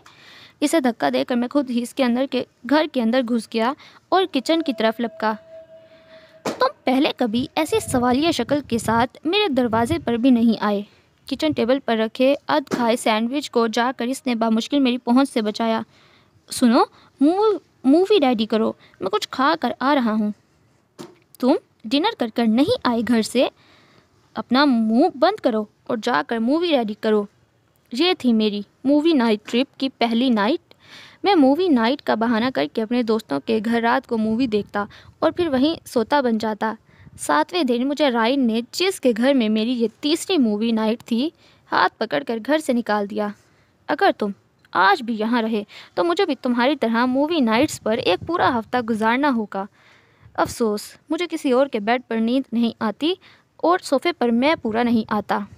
कैसे? दोस्त हो तुम। सिर्फ़ तीन दिनों में ही तुम्हें यह सब याद आ गया। मैं तो तुम्हारा दोस्त हूँ, लेकिन मेरे मोम डैड तुम्हारे दोस्त नहीं। लेकिन तुम इन्हें कायल कर सकते हो। उन्होंने मुझे कायल कर लिया है कि यहाँ तुम यहाँ रहोगे या मुझे जाना होगा। तुम इनकी औलाद नहीं हो क्या? ऐसा कैसे कर सकते हैं वो तुम्हारे साथ, तुम्हारे दोस्त के साथ? जैसे तुम्हारे मोम डैड ने तुम्हारे साथ किया, तुम इनकी औलाद नहीं हो क्या? वो वो तो मेरी कज़न आई हुई है, मुझे इसकी शक्ल नहीं देखनी, इसलिए या इसकी शक्ल को मास्क पहना दो या खुद काला चश्मा लगा लो। लेकिन अब चले जाओ। मेरे मोम ने तो वार्ड्रोब लॉक कर दी है। मैं एक ही ड्रेस में एक हफ़्ता कैसे गुजारूँगा? तुम्हें तो रेन कोट मिल गया। मुझे टीन पेपर भी नहीं मिलेगा। डेनिस ठीक कहता है। तुम किसी काम के नहीं। डेनिस मुझे भी ठीक कह गया है कि इसे किक मार कर बाहर करो। इससे पहले कि मैं राइन मोटू की डायनासोर्स किक खाता मुझे घर से निकलना पड़ा। वो किचन टेबल पर बैठी सेब खा रही थी और मुझे देखकर ऐसे मुस्कुरा रही थी जैसे इसे दुनिया में कोई गम नहीं। इसे कोई गम हो भी नहीं सकता था, क्योंकि सारे गम इसने मेरी तरफ़ मुंतकिल कर दिए थे। इसे सॉरी कहा, फिर कहीं जाकर इसका नेक कॉलर उतरा। पापा को मुझ पर एतबार नहीं था। वो हर रोज़ सुबह मेरे कमरे में आते, मुझे मखसूस अंदाज से घूरते। क्योंकि अभी हाल ही में मैं मूवी नाइट ट्रिप से वापस आया था, इसलिए मैं इस घूरी से डर जाता। मैं अंकल के कमरे में जाता, इनका हाल पूछता, इनसे हल्की फुल्की बातें करता। अक्सर इन्हें अपने साथ चहलकदमी के लिए ले जाता और इससे दूर ही रहता, जैसे कि मामा ने कहा था, उर्वा से दूर रहना, वरना हम से भी दूर हो जाना। मामा, पापा से दूर होने का मतलब था। सुबह के नाश्ते, रात के खाने, अपने रूम। इस रूम के बाथरूम और पापा के वॉलेट में मौजूद पैसों से दूर रहना। इतनी सारी चीज़ों से दूर रहने से बेहतर था। मैं इससे दूर रह लेता। अक्सर वो मुझे देखते ही अपनी गर्दन मसलने लगती। ये डिनर टेबल पर होता। इसकी गर्दन में दर्द होने लगता। वो मामा से किसी बाम का पूछने लगती। फिर वो कराह कर एक एक नवाला खाती। पापा मुझे घूरते, मुझे अफसोस होता, बहुत अफसोस। मुझे एक कारीवार करना चाहिए था कि इसकी गर्दन ही टूट जाती। ना होती गर्दन, ना निकलती आह। अब वक्त गुजर चुका था। इसलिए कहा जाता है, जो काम वक्त पर ना हो सके, फिर वो कभी नहीं होता। इसकी गर्दन तोड़ने वाला काम भी फिर कभी नहीं हुआ। लेकिन घर में एक मोटा हो तो दो तीन और मोटू निकल ही आते हैं। जो सांड इसके घर से सारा राशन खा आया था, इसी सांड की एक छोटी बारह साल की मोटी बहन भी थी, जो जब हमारे घर आई तो मामा को पीलिया करवा देती थी। आंटी, मैं यहाँ से गुजर रही थी कि बेकिंग की खुशबू ने मुझे रोक लिया। मामा का गुलाबी रंग पीला पड़ जाता। हाँ बेटा, मैं आज केक और कुकीज़ बेक कर रही हूँ। मामा जानती थीं, वो झूठ नहीं बोल रही। मामा हफ़्ते में एक दिन केक, कुकीज़ और ब्रेड बेक करती, वो ठीक इसी दिन घर आती। मामा ने दिन बदल कर भी देखे, पर कोई फ़ायदा नहीं हुआ। जैसे टॉम एंड जेरी में जेरी चीज़ की खुशबू सूंघता हुआ चीज़ तक पहुँच जाता है, ठीक ऐसे ही वो शहर के किसी भी हिस्से में होती। वो ठीक इसी जगह पहुँच जाती जहाँ कुछ पक रहा होता और जहाँ से पका हुआ इसे मिल भी जाता। क्या तुम मामा को बता कर आई हो? मामा हर बार ये कमज़ोर सा जवाब तलाश करती कि शायद इसे घर जाने की जल्दी होगी। मैंने साइकिल शेड में पार्क कर दी है। मामा को मैं फ़ोन कर देती हूँ। वैसे भी मोम को मेरी कोई परवाह नहीं। इनके ख्याल में जब मैं कमज़ोर हो जाऊँगी तो ही अच्छी बच्ची बनूँगी। मैं इन्हें बताना चाहती हूँ कि वज़नी लोग भी अच्छे होते हैं। आप तो जानती हैं, मैं शुरू से ही बागी रही हूँ। अगर दुनिया में अस्सी फ़ीसद तादाद ऐसे लोगों की है जो फिट हैं तो मुझे इन अस्सी फ़ीसद का हिस्सा नहीं बनना। मेरी एक अलग पहचान होनी चाहिए। आप क्या कहती हैं, आंटी? तुम्हारी तरह और भी बहुत लोग मोटे हैं। ये तुम्हारी अलग पहचान तो नहीं हुई ना? मैं हज़ारों भेड़ों में होने की नस्बत दस भेड़ियों में होना पसंद करूँगी। लेकिन भेड़ों को पसंद किया जाता है, मशल। मैं नापसंद किए जाने के लिए तैयार हूँ।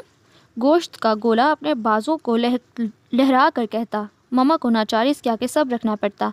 वैसे भी मामा और हम सब जान गए थे कि मोटापा अपने मोटा होने के कई जवाब को तलाश कर लेता है। वो खाने का कारखेस पर ऐसी ऐसी दलीलें देता है कि 80 फ़ीसद फिट आवाम इन दलाइल का मुकाबला नहीं कर सकती। सो लेट मोटाज मोर मोटाज जब इसने हमारा नमक खा ही लिया था तो इसे हलाल भी करवाना चाहिए था। मैं इसे अपने साथ स्टोर ले गया और जो जो इसने कहा, इसे खाने के लिए ले कर दिया। बदले में इसने बस इतना किया कि वो उर्वा को अपने साथ चहलकदमी के लिए ले गई और वापसी में उर्वा को ममा बमुश्किल अपने साथ घर लाई। फिर घर से डॉक्टर के पास। छोटी मोटू लड़खड़ा कर गिरी थी और ठीक उर्वा के ऊपर गिरी, जो ग्राउंड पर हाथ सर के नीचे रखे पुरसकून अंदाज में आसमान का नज़ारा कर रही थी। हो गया नज़ारा। चलो अब अपने घर वापस। मैं तुम्हें अपने घर बर्दाश्त नहीं कर सकता। मुझे ऐसा लगा जैसे मेरे ऊपर कोई पहाड़ आ गिरा। मेरी आंतें अगर बाहर नहीं आई थीं तो इसका मतलब साफ़ था कि वो अंदर ही टूट कर गिर गई थीं और अब किसी और के रास्ते बाहर आने वाली थीं। पूरे दो मिनट तक मैं पेट के बल अपना दर्द काबू करने की कोशिश करती रही, मशल भाग कर गई और घर से आंटी को बुला लाई। एक हफ़्ते तक मैंने जो खाया, वो खाते ही बाहर आ जाता। दर्द जिस चिड़िया का नाम है, मैंने चिड़ियों के झुंड से जाना। मुझे कई दिन तक बेड रेस्ट करना पड़ा और ज़ाहिर है कि बारह साल बच्ची की ये सब बर्दाश्त नहीं कर सकती और इसने एहसास जुर्म के असर को ज़ायल करने के लिए बहुत ज़्यादा खाना शुरू कर दिया, साथ ही उगलना भी शुरू कर दिया। जैक ने कहा था, मुझसे ये करने के लिए? इसने उगल दिया, हाउ क्यूट! मैंने मशल के गाल पर प्यार किया। दिल तो कर रहा था दांत से गाल काट लूँ लेकिन बच्ची थी और फिर मैं इस बच्ची के देश में। कुछ भी हो सकता था। तुमने इसे मना किया था? नहीं, मैं मना नहीं कर सकी। वो मुझे स्टोर में ले गया और जिस जिस चीज़ पर मैंने हाथ रखा, इसने मुझे वो ले दी। फिर सब बैग्स अपने हाथ में रख कर इसने कहा, एक हाथ लो, एक हाथ दो। मैंने अपना हाथ लेने वाला बढ़ाया और इसने देने वाला हाथ पकड़ लिया। अगर मैं मर जाती तो मैं गॉड से माफ़ी मांग लेती। गॉड बहुत अच्छे होते हैं, माफ़ कर देते। और जैक ने कहा था, मोटे लोगों के नीचे आकर कोई नहीं मरता। तुम गॉड से माफ़ी तो मांग लेती, लेकिन मेरी जान तो वापस ना आती। मेरी जान के ज़िया पर इसके कितने नादिर ख्याल थे। राज उगलने के इनाम के तौर पर मैंने इसे चॉकलेट का एक पैकेट दिया, जिसे लेकर वो मेरी शक्ल देखने लगी। क्या हुआ? तुम ये चॉकलेट नहीं खाती? मैंने आपकी जान बचाई है। अगर मैं मज़ीद दो मिनट तक आप पर गिरी रहती तो आप इस वक्त बेड में नहीं, ताबूत में लेटी होती। अब आप बदले में मुझे ये नन्ना मुन्ना पैकेट दे रही हैं, ये तो मैं स्कूल में बस बैठे बैठे खा जाती हूँ। अभी कुछ देर पहले वो शर्मिंदा हो रही थी, और अब वो मुझे शर्मिंदा कर रही थी। इन मोटे लोगों का कोई दिन ईमान है या नहीं? फ़िलहाल तो मेरे पास ऐसा कुछ नहीं है कि तुम्हें खाने के लिए दूँ। अलबत्ता तुम कैचअप लगा कर मुझे खा सकती हो। मैंने आह भर कर कहा, इसने मुँह बना लिया।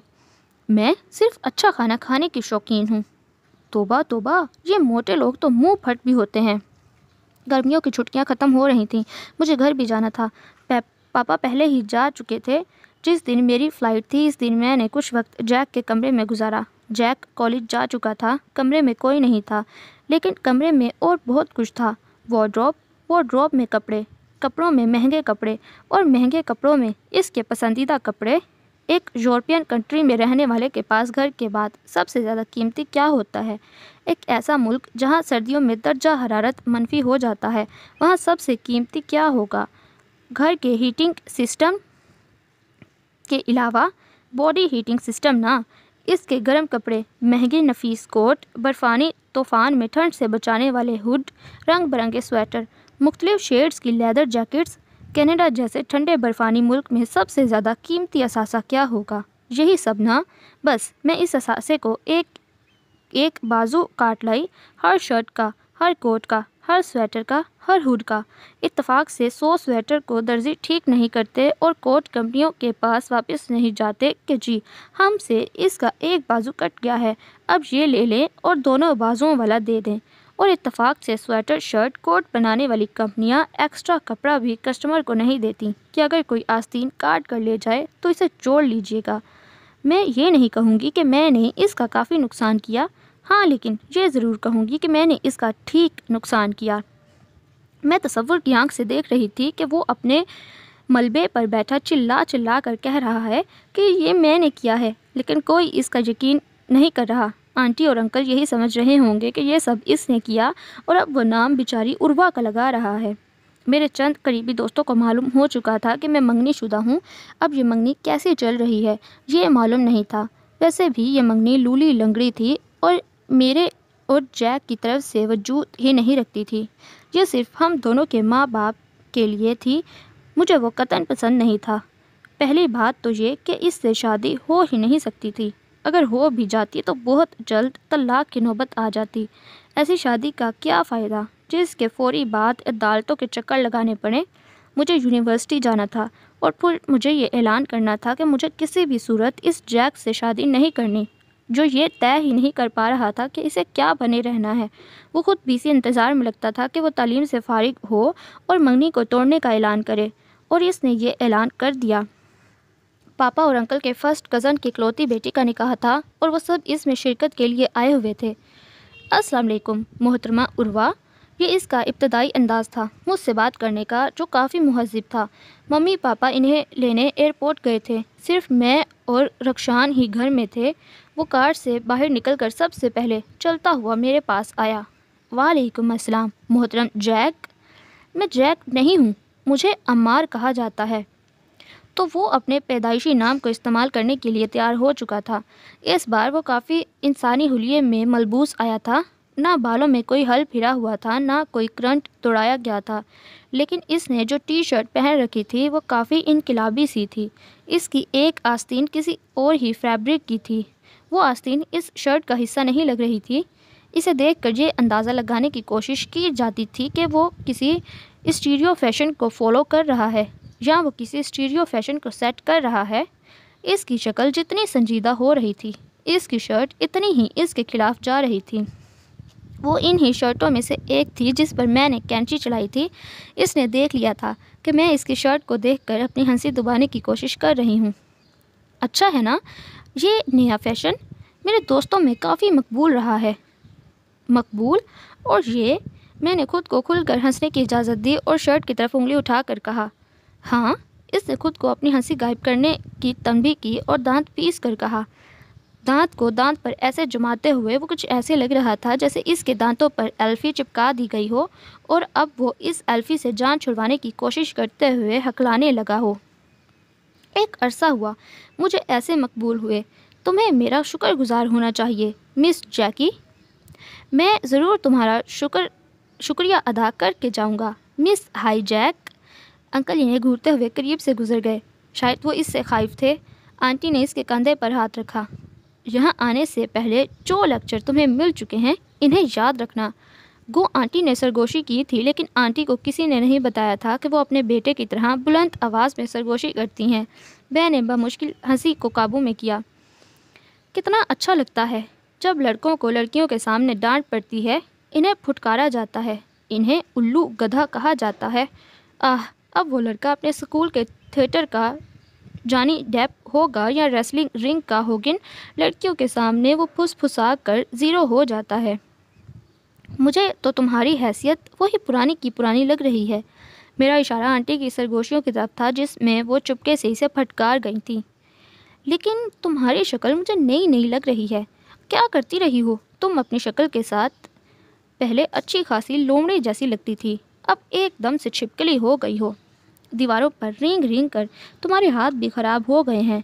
अगर तुम्हें जानवरों में दिलचस्पी है तो कोई अच्छा जानवर बनो, जैसे चिमगादड़ या शर्ट अप। मुझे अपने जिसम का सारा खून उबलता महसूस हुआ। अपनी शक्ल देखी है तुमने? पिचकी हुई रग्बी बॉल? ओह, मोह महफूज हुआ। कभी रग्बी बॉल हाथ में पकड़ कर भी देखी है, या बस टीवी से रग्बी का नाम सीखा है? तुम जैसी लड़कियाँ दूसरों को मुतासर करने के लिए गूगल से फ़िल्मों, खिलाड़ियों, शहरों, होटलों के खानों, आर्ट के नमूनों के नाम देख कर याद कर लेती हैं। फिर ऐसे ज़ाहिर करती हैं जैसे हमसे ज़्यादा को तो कोई जानता ही नहीं। रग्बी एक आध खिलाड़ी का नाम भी तुमने याद नहीं किया होगा। दस बारह फुटबॉल के खिलाड़ियों के नाम, कुछ साइंसदानों के नाम, चंद क्लासिक फ़िल्मों और किताबों के नाम। लो, हो गई इम्प्रेसिव लिस्ट तैयार। वैसे इस बार तुमने कितनी किताबें ला कर अपने कमरे में रखी हैं? इस बार Dracula Dracula in park land रखी है।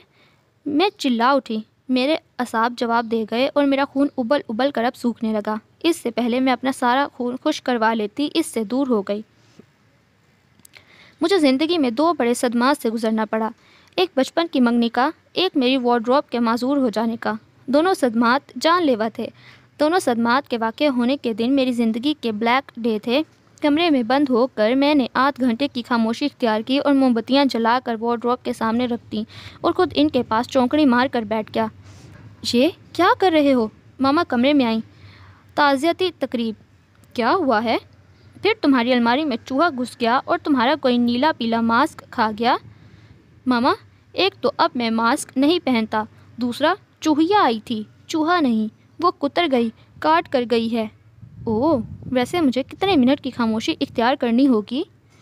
आपको मेरी यूनिवर्सिटी जाने तक खामोशी इख्तियार करनी होगी। मेरा मतलब है, उर्वा से था कि अब कोई इसका नाम मेरे सामने ना ले। अपनी तकरीब जारी रखो। वो हंसने लगी। कितनी बेफिक्री से मामा हंस रही थी। क्या? वो देख नहीं रही थी कि मैंने वार्ड्रोब के सामने एक नहीं, पूरी तीन दर्जन कैंडल्स जला रखी हैं। क्या इन्हें नज़र नहीं आ रहा था कि मैंने गम में लंच भी नहीं किया और मैं एक हज़ार बार अपने कपड़े निकाल कर देख चुका हूँ कि शायद किसी का कुछ हो सके, जिनका अब यही हो सकता था कि या मैं खुद टेलर बन जाऊँ या इन सबको किसी न किसी तरह से पहनने के काबिल करूँ या फिर पार्ट टाइम जॉब करूँ और अपने लिए नए कपड़े ख़रीदूँ। मैं टेलर भी बना और मुझे पार्ट टाइम जॉब भी करनी पड़ी, फिर भी नुकसान वहीं का वहीं रहा। रायन की मोम अक्सर राइन की तरफ़ इशारा करके कहती, कुछ अजाब, इतने वजनी होते हैं कि इन्हें छोटी मोटी दुआएँ टाल नहीं सकती। ठीक कहती हैं, कुछ अजाब इतने वजनी होते हैं कि इन्हें छोटी मोटी तदबीरें नहीं टाल सकती? मुझे अब कोई बड़ी ही तदबीर आसमानी होगी। और ये रही वो तदबीर। मैं कशफ के निकाह में शिरकत करने के लिए आया हूँ। अभी फ़ंक्शन शुरू नहीं हुआ, किसी मकामी सिंगर को गाने के लिए बुलाया गया है, लेकिन अभी तक वो नहीं आया। हम सब अपनी अपनी आवाज़ें निकाल कर साउंड सिस्टम को चेक कर रहे हैं। शायान, मेरे कज़न के किसी अंकल ने अपने बेटे के मेडिकल में एंट्री टेस्ट में पास होने की खुशी में अगले हफ़्ते अपने घर में दावत का ऐलान माइक पर आकर किया और सबको शिरकत की दावत दी। तुम्हें कोई ऐलान नहीं करना? शायान मुझसे पूछ रहा था। इसका इशारा शायद मेरी शादी की तरफ़ था। हाँ क्यों नहीं? जल्द ही मैं तुम्हें अपनी मंगनी में इनवाइट करूँगा। मंगनी, करने की क्या ज़रूरत है? निकाह करना या शादी? वैसे भी तुम्हारी मंगनी का दौरानिया काफ़ी लंबा हो गया है। किस मंगनी का दौरानिया लंबा हुआ है? मंगनी तो अभी मेरी होनी है। मैं उर्वा से तुम्हारी मंगनी की बात कर रहा हूँ। कौन उर्वा? मैं किसी उर्वा को नहीं जानता। तुम मज़ाक कर रहे हो? वह हैरान हुआ। मुझे मज़ाक की आदत नहीं। इससे मंगनी का ऐलान करने से बेहतर है, मैं खुद, अपनी खुदकुशी का ऐलान कर दूँ। अगर मेरी कोई मंगनी हुई भी है तो मैं इसे तोड़ता हूँ। मेरा प्लान कुछ और था, लेकिन हो कुछ क्या? जो हो गया, वो भी कुछ ऐसा बुरा नहीं था। काफ़ी मेहमान आ चुके थे, लेकिन अभी लड़के वाले नहीं आए थे। माइक पर शयान का 10-12 साल कज़न खड़ा नीम मजाहिया अंदाज में वहाँ मौजूद रिश्तेदारों की आवाज़ों की नकल उतार कर सुना रहा था और सब महजूज हो रहे थे। मेरे और शायान के दरमियान जो मुकालमा चल रहा था, वो इसके कान से गुजर रहा था। इसने गर्दन मेरी तरफ़ मोड़ कर शरारत से पूछा, ये वाला ऐलान भी कर दूँ माइक पर? मैंने बच्चे का दिल तोड़ना मुनासिब नहीं समझा और गर्दन को हाँ में हिलाया, उर्वा से मंगनी करने का ऐलान करने से बेहतर है, मैं अपनी खुदकुशी का ऐलान कर दूँ। अगर मेरी कोई मंगनी हुई भी है तो मैं इसे तोड़ता हूँ। बच्चे की याददाश्त भी अच्छी थी और इसने मेरे अंदाज की नकल भी ठीक ठाक उतारी। इसका अंदाज़ा मुझे हॉल में यकदम फैल जाने वाले सन्नाटे से हुआ। खुशकिस्मती से ख़ानदान में एक ही उर्वा थी और इससे भी ज़्यादा खुशकिस्मती से बहुत से लोग ये पेशन गोई पहले ही कर चुके थे कि हम दोनों की मंगनी शादी तक नहीं पहुँचेगी। ऐलान भी हो गया। इनकी पोषण गोई भी सच हो गई। शयान ने भरकर इस लड़के के हाथ से माइक लिया। बच्चा है, मज़ाक कर रहा है। शयान ने माइक में कहा नहीं, ये सच है। मैंने माइक के आगे मुँह करके कहा। इतनी सी हिम्मत की बात थी और सब खत्म। पापा की जेब में इस वक्त अगर कोई पिस्टल होती तो मेरी लाश माइक के पास पड़ी होती। अगर पिस्टल नहीं भी थी तो भी वो दोनों हाथों के हमले से मुझे लाश बनाने आ रहे थे, लेकिन अंकल ने मेरी जान बचा ली। उन्होंने पापा और मामा दोनों से कहा कि फ़ैसला दोनों बच्चे ही करेंगे। हमें इन्हें मजबूर नहीं करना चाहिए। इस वक्त बात को बढ़ाने से कुछ नहीं होगा। मैं वापस कनाडा आ गया। अब मैं खुश था और मुतमिन थी। इस सबसे मैंने ये सबक सीखा कि थोड़ी सी हिम्मत आपको बड़ी मुसीबत से बचा सकती है। और हाँ मैं बताना भूल गया। वो मेरे चचा की बेटी उर्वा है ना? इसके कमरे में मुझे कुछ देर रुकना पड़ा। कमरे में एक मैं था, एक ड्रॉप थी और मेरे हाथ में एक ब्लैक ऑयल पेंट बॉक्स था। मैंने इसके कपड़ों को बेड पर फैलाया बॉक्स में ब्रश भिगोया और कूद कूद कर गीले ब्रश के वार इन कीमती मलबूसात पर किए जो इसके कहने के मुताबिक बड़े ब्रांड और महँगे महँगे थे। अब वो कपड़े दुनिया के किसी भी लॉन्ड्री हाउस में जाते, वहाँ से वैसे ही वापस आते जैसे गए थे। मैं इस वक्त रेस्ट रूम में थी। लड़के वाले आने ही वाले थे। हम सब लड़कियाँ अपने अपने मेकअप को आखिरी टच दे रही थीं कि अंकल न्याज का छोटा बेटा भागता हुआ अंदर आया। अमार भाई कह रहे हैं कि वो मर जाएँगे। उर्वा, आप इसे शादी नहीं करेंगे? उन्होंने माइक पर कहा है, ये लड़कियों के मेकअप करते हाथ रुक गए और वो मेरा मुँह देखने लगी। वो अब मज़ाक कर रहा होगा? मेरी एक कज़न ने अपने तासुरात छुपाते हुए कहा। लेकिन उन्होंने कहा, वो सच बोल रहे हैं? मैं जान गई कि वो सच बोल रहा है। मुझे कौन सा इस गधे से शादी करने, करनी है? मैंने भी गुस्से में चिल्ला कर कहा, मेरी कज़न इस्तेजाया मुझे देख रही थी। इनके ख्याल में मैं पागल थी जो अम्मार को गदा कह रही थी। इन सब के नज़दीक कनाडा में रहने वाला अंकल का इकलौता डैशिंग बेटा गदा हो ही नहीं सकता था। अगर कोई गदा हो सकता था तो वो मैं थी। उल्टा मुझे गधा बनाकर एकदम से ही सारी लड़कियों का मेकअप हो गया। एकदम सी इन्हें जल्दी से बाहर जाना था।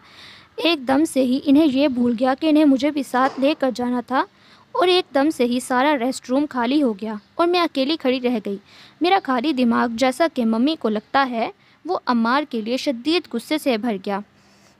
तकरीब के बाद जिस वक्त वो कमरे में बैठा मूवी देख रहा था और साथ फ़ोन पर किसी से बात कर रहा था, मैं वहाँ जा धमकी, तुम इस गलत फहमी में क्यों थे कि मैं तुम्हें अपना मंगेतर समझती हूँ? मैंने हाथों से इसकी, मैंने हाथों को इसकी गर्दन से दूर रखने की बाकायदा तगो दो की। ये गलत फहमी हमारे वालदेन को थी। वो देख सकता था कि मैं कैसे अपने हाथों को संभाल रही हूँ और वो महजूज हो रहा था। तो तुम्हें ये गलत फहमी माइक पर ही दूर करनी थी? ये मुझसे गलती हुई। दरअसल इसका ऐलान मुझे इससे भी बड़ी जगह पर करना चाहिए था। वो भी ढीठ ही बना हुआ था। मैं तुमसे अपनी मंगनी बहुत पहले तोड़ चुकी हूँ। लेकिन तुमने इसका ऐलान नहीं किया। ऐलान तो मैंने किया है। तो तुम अब यहाँ क्या कर रहे हो? मैं अपने चाचा के घर अपने कमरे में बैठा टीवी देख रहा हूँ। वैसे तुम इतने गुस्से में क्यों हो? तुम्हें तो मेरा शुक्रिया अदा करना चाहिए। मैंने खुद को तो मुसीबत से बचाया ही, तुम्हें भी बचा लिया। तो तुम मान रहे हो कि तुम मुसीबत हो, जिससे मैं बच गई? मैं तुम्हें एहसास कमतरी में मुबतला नहीं करना चाहता। हाँ मैं मान रहा हूँ कि तुमने मुझे मुतासर नहीं किया, इसलिए मुझे तुम्हारे लिए मुसीबत बनना पड़ा। ओह! मेरे गाल गुस्से से सुर्ख हो गए और होंठ नीले। काश मैं सांप होती और इसे डस लेती और इसे नीला कर देती। लेकिन मैं सांप नहीं हूँ और ना ही इसे नीला कर सकती थी, इसलिए मैं अपने कान गुस्से से सुर्ख कर रही थी। मुझे तुम्हें मुतासर करना भी नहीं था। कशफ के निकाह में तुम्हें काफ़ी लड़कियों ने इम्प्रेस किया था। तुम इन लड़कियों से जालिस हो। मैं हर लड़की से जालिस हुआ करती थी कि वो क्यों इतनी खुश किस्मत हैं कि तुम जैसा लड़का इनका मंगेतर नहीं। लेकिन अब हर लड़की मुझसे जालिस हुआ करेगी। मैं कह कर जाने लगी, तुम्हें ये दुख तो होगा कि मुझ जैसे हैंडसम लड़के ने तुम्हें छोड़ दिया? दुख? हाँ बहुत दुख है। लेकिन पहले के तुम जैसे एबनॉर्मल लड़के से मेरे माँ बाप ने मेरा रिश्ता तय कर दिया तो तुम खुद को नॉर्मल समझती हो? तुम्हें तो काफ़ी दुख हो रहा है अपने एबनॉर्मल होने के बारे में सुनकर। इनफैक्ट तुम्हें यह बुरा लग रहा है कि मैंने तुम्हें घास नहीं डाली। घास चढ़ने से तो तुम्हें ही फुर्सत नहीं। अब जाओ, मुझे गुस्सा ना दिलाओ, वरना तुम्हें सज़ा देने के लिए मैं इस रिश्ते से हाँ भी कर सकता हूँ। लेकिन यह सज़ा साथ में मुझे भी भुगतनी होगी। हाँ यह सज़ा तुम्हें ही भुगतनी होगी। ये वो ख्याल था जो मेरे जहन में आया और फिर कभी जहन से निकला ही नहीं। मुझे डर था कि जैसे ही हम लोग कनाडा वापस आएँगे, मम्मा पापा दोनों मुझ पर हमला कर देंगे। लेकिन ऐसा कुछ नहीं हुआ। दोनों का रवैया बहुत अच्छा रहा, बल्कि एक दिन तो उन्होंने मुझसे कहा कि तुम हमें अपने फ़ैसले से आगाह कर देना, लेकिन पहले अच्छी तरह सोच लेना। गो, मैं अपने फ़ैसले से वहाँ सबको आगाह कर चुका था और अब बहुत हल्का फुल्का प्लस, मुझे मज़ीद सोचने की ज़रूरत नहीं थी, लेकिन फिर एकदम से जैसे मुझ पर बहुत वज़नी बोझ आ गिरा। यानी, अभी मुझे फिर से सोचना है। ठीक है, मैं सोच लेता हूँ। कल रात सोचूँगा, कल मैं फ्री हूँ। कल की रात आई तो मैंने सोचा कि आजकल मेरे एग्ज़ाम्स चल रहे हैं। मुझे एग्ज़ाम्स के बाद सोचना चाहिए। एग्ज़ाम के बाद मुझे ख्याल आया कि ये मेरे इन्जॉयमेंट के दिन हैं। मुझे हर चीज़ भुला कर सिर्फ़ इंजॉय करना चाहिए। इन्जॉयमेंट के दिन ख़त्म हुए तो फिर से क्लासेस शुरू हो गई और मैं स्टडी में बिज़ी हो गया। फिर से एग्ज़ाम आ गए और यूनिवर्सिटी के आखिरी साल की टफ़ स्टडी शुरू हो गई। इत्तफाक से अगर मुझे कुछ वक्त फ्री मिलता तो मैं कोई ना कोई मूवी देख लेता। कुछ ना कुछ पका कर खाने लगता या राइन के साथ घूमने निकल जाता। फिर मेरी जॉब भी बहुत टफ थी। मेरे पास इतना वक्त नहीं था कि मैं सोचता। डिनर टेबल पर जैसे ही पापा मुझे गौर से देखते, मैं जल्दी से खाना ख़त्म करके अपने कमरे में आ जाता। क्यों? क्या मैं डर रहा हूँ कि वो मुझसे मेरे फ़ैसले के बारे में ना पूछ लें, जिसके बारे में मैंने अभी तक सोचा नहीं। इस फैसले के बारे में जिस पर मैं बहुत क्लियर हूँ नहीं, ऐसा नहीं हो सकता। मैं डर नहीं सकता। ये भी पापा की कोई ट्रिक है। वो मुझे उलझा रहे हैं। वो जानबूझकर मेरे जहन पर बोझ डाल रहे हैं। जो भी है, फैसला तो हो चुका है। बस एक बार फिर से इस पर सोचकर इन्हें आगाह करना है। छोटा सा, मामूली सा काम। लेकिन बस, मुझे वक्त नहीं मिल रहा। तुम्हें वक्त की क्या ज़रूरत है? बस झट जा कर कह दो कि तुम्हें नहीं करनी, उर्वा से शादी। मेरे अंदर से आवाज़ आई। ये चीटिंग होगी। पापा ने कहा है, एक बार अच्छी तरह सोच लो। पापा को किसने बताना है कि तुमने चीटिंग की है? कह देना, अच्छी तरह सोच लिया। मैं गिल्ट का शिकार रहूँगा, मैं ऐसा नहीं करना चाहता। दरअसल, तुम उर्वा से शादी करना चाहते हो। हाँ तुम ये चाहते हो, अब जब वाकई इसे छोड़ने का वक्त आया है तो तुम्हारे दिल पर बोझ है। ऐसा नहीं है, जहर लगती है, मुझे वो।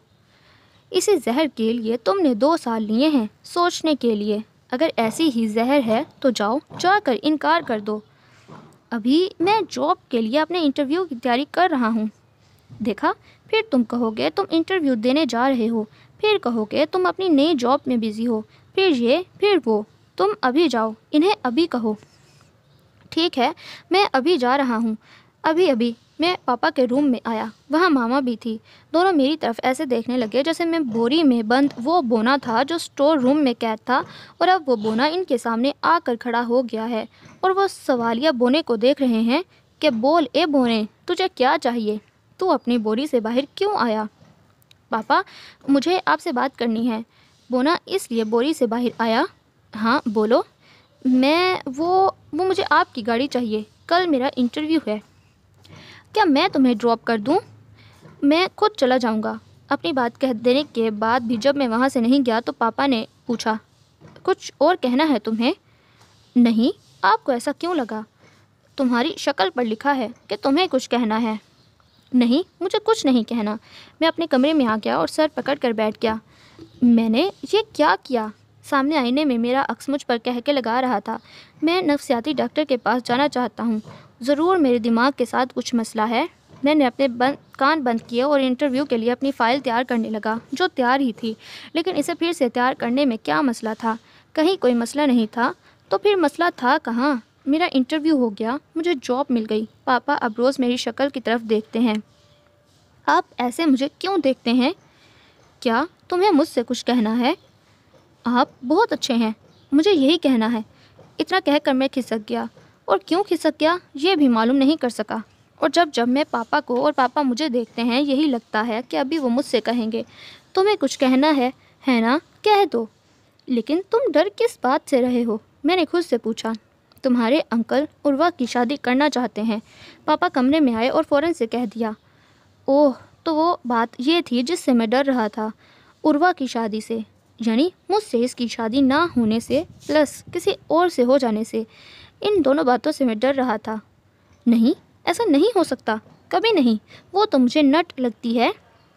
तुम अपना फ़ैसला बताओ। तुम इससे शादी करना चाहते हो या नहीं, ताकि वो कहीं और कर सक, कर सकें? अंकल ने उर्वा से पूछ लिया। पता नहीं कैसे मेरी ज़ुबान से निकला। उफ़, मेरी ज़ुबान। कैसे स्लिप हो जाती है ना?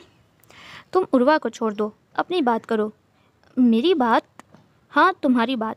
क्या तुम दो बार सुनने लगे हो? बहरे हो गए हो क्या तुम? पता नहीं पापा, क्या कह रहे हैं? मुझे तो कुछ सुनाई नहीं दे रहा। सुन रहे हो मुझे? पापा ने मेरी आँखों के सामने हाथ लहराया। मेरी बात यह है कि जो उर्वा का फ़ैसला होगा, वो मुझे मंजूर होगा। मैं अपनी ज़ुबान को काट डालना चाहता था। ऐसी स्लीपिंग टंग को रख कर क्या करना है? अच्छा पापा ने घूर कर मुझे देखा, फिर वो मुस्कुराने लगे। ये पापा आखिर क्यों मुस्कुरा रहे हैं? अरे, मैं भी मुस्कुरा रहा हूँ। लेकिन क्यों? ओह, मेरे खुदा, ये मैं क्या कर रहा हूँ? अपने ड्रेसेस का गम कैसे मैंने कम किया, ये मैं ही जानती हूँ। मेरा ख्याल था अब वो बड़ा हो गया होगा, लेकिन कशफ के निकाह में जो इसने किया, इससे इसकी सारी तमीज़ बदतमीज़ी में बदल गई। यहाँ तक भी सब ठीक था। अच्छा ही हुआ, इसने मंगनी तोड़ दी। इसमें मंगेतर बनने रहने की सलाहियत नहीं थी। था क्या इसमें? मैं बहुत मुतमिन थी। मम्मी मेरे रूम में आई और उन्होंने मुझसे कहा तुम्हें अम्मार पसंद नहीं है? नहीं, मैंने फ़ौरन कहा, ठीक है, तुम यूनिवर्सिटी जाओ, अपनी स्टडी मुकम्मल करो, फिर हमें सोच कर बता देना। लेकिन मैं बता चुकी हूँ, अभी नहीं, अभी तुम छोटी हो। इससे ज़्यादा छोटी थी जब आपने मेरी मंगनी कर दी थी। अब तो मैं काफ़ी बड़ी हो चुकी हूँ, अब मंगनी ख़त्म कर दें। होगा वही जो तुम चाहोगी, कोई ज़बरदस्ती नहीं होगी। हमने तो अपनी तरफ़ से अच्छा फ़ैसला किया था, लेकिन खैर, तुम वक्त ले लो।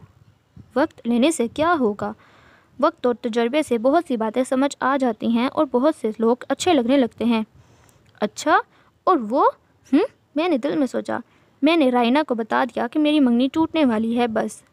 गुड, मुबारक हो। इसने दांत निकाले जो मुझे बहुत बुरे लगे। किसी की मंगनी टूट रही है और तुम मुबारकबाद दे रही हो? तो और क्या कहूँ? तुम्हें वो पसंद नहीं, तुम इससे नफ़रत करती हो। ऐसे इंसान से जान छूटने पर तुम्हें मुबारकबाद ना दूँ? ना दूँ। हमारे यहाँ ये रिवायत नहीं है कि मंगनी टूटने पर मुबारकबाद दी जाए। मुझ पर अभी अभी ये इंकशाफ हुआ था कि हमारे यहाँ ये रिवायत नहीं। रिवायत वो बुड़बुड़ाने लगी और इसका मुँह बन गया। बना रहे मुँह? कम से कम इसे बात करने की तमीज़ होनी चाहिए। दन चंद दिन गुजरे तो यही राहिना अपने एक कज़न के बारे में मुझे बताने लगी। मैं जानती थी इसके कज़न को मिल भी चुकी थी कई बार। वो तुम्हें बहुत पसंद करता है। सारी बात बताकर इसने अपनी तरफ़ से बहुत सरप्राइज़ देने वाले अंदाज में मेरे कान में सरगोशी की। इसका कज़न भी अच्छा था और ये भी अच्छा था कि वो मुझे पसंद करता था, लेकिन मुझे ये जानकर अच्छा क्यों नहीं लगा? हैरत अंगेज़ तौर पर मैंने फ़ौर राइना के कज़न को मुस्तरद कर दिया। तुम अमार को पसंद करती हो ना? नहीं, मुझे इससे नफ़रत है। फिर मेरे कज़न के लिए इनकार क्यों कर रही हो? क्योंकि तुम्हारा कज़न मुझे पसंद नहीं। मेरे कज़न में ऐसी क्या खामी है? खामी का मुझे मालूम नहीं, बस वो अच्छा नहीं लगा। बग़ैर खामी के कोई बुरा कैसे लग सकता है? लग सकता है, जैसे मुझे तुम्हारा कज़न। तुम अपनी मंगनी तोड़ना नहीं चाहती? मेरी मंगनी टूट चुकी है। अब बस इसका बाकायदा ऐलान होना है। मामा ने कहा है कि मैं शायद स्टडी मुकम्मल कर लूँ, फिर ऐलान होगा। मामा ने ऐलान करने के लिए तुम्हें इतना वक्त नहीं दिया। तुम्हारा दिल अमार की तरफ़ फिर जाए, इसलिए वक्त दिया है, और वो फिर चुका है। मेरा दिल क्या फिरकी है? सबका दिल ही फिरकी होता है। मुझे साइंसदान बनना था, लेकिन अब मैं आर्ट्स पढ़ रही हूँ। देखा? मेरा दिल फिरकी दिल फिरकी दिल फिरकी। उफ, कानों में यह फिक्रा गूंजता रहा, लेकिन मैंने परवाह नहीं की। ख़ानदान से मेरे लिए चंद प्रपोज़ल भी आए। ज़ाहिर है, सबको मालूम हो चुका था कि अमार ने कशफ से शादी की तकरीब में मुझसे निका, मुझसे मंगनी के लिए रिश्ता तोड़ दिया था।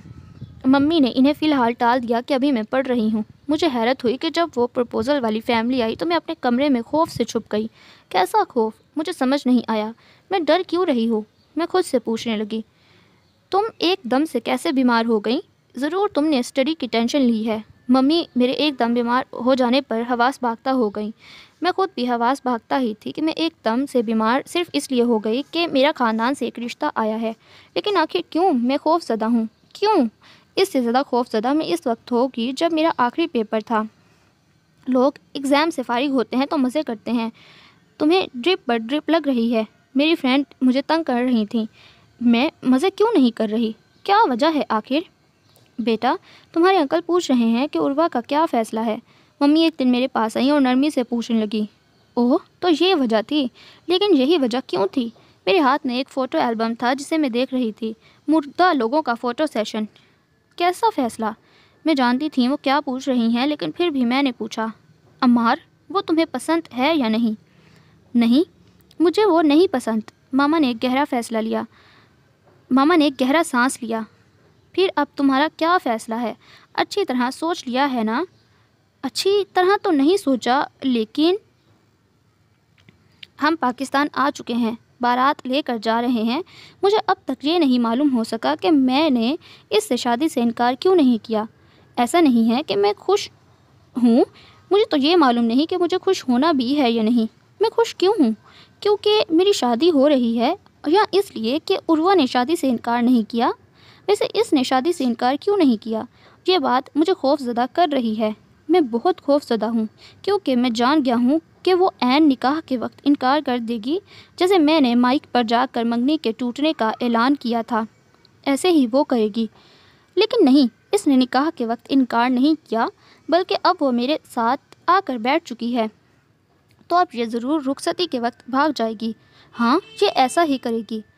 मैंने इसे देखा, वो भी मुझे ही देख रही है। इसका चेहरा भी मेरी तरह पीला हो रहा है, इसकी आँखों में भी खौफ है।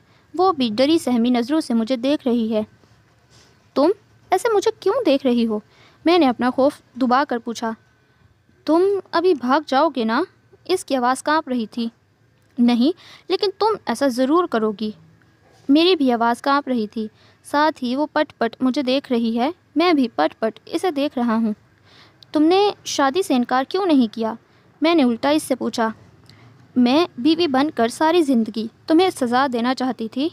इसकी आँखों से सारा खौफ वसवसे रुखसत हो गए और इसने दलेरी से कहा, अब तुम बताओ, इसकी बड़ी बड़ी आँखें सारी की सारी सिमट कर मुझ पर मरकूज़ हुई।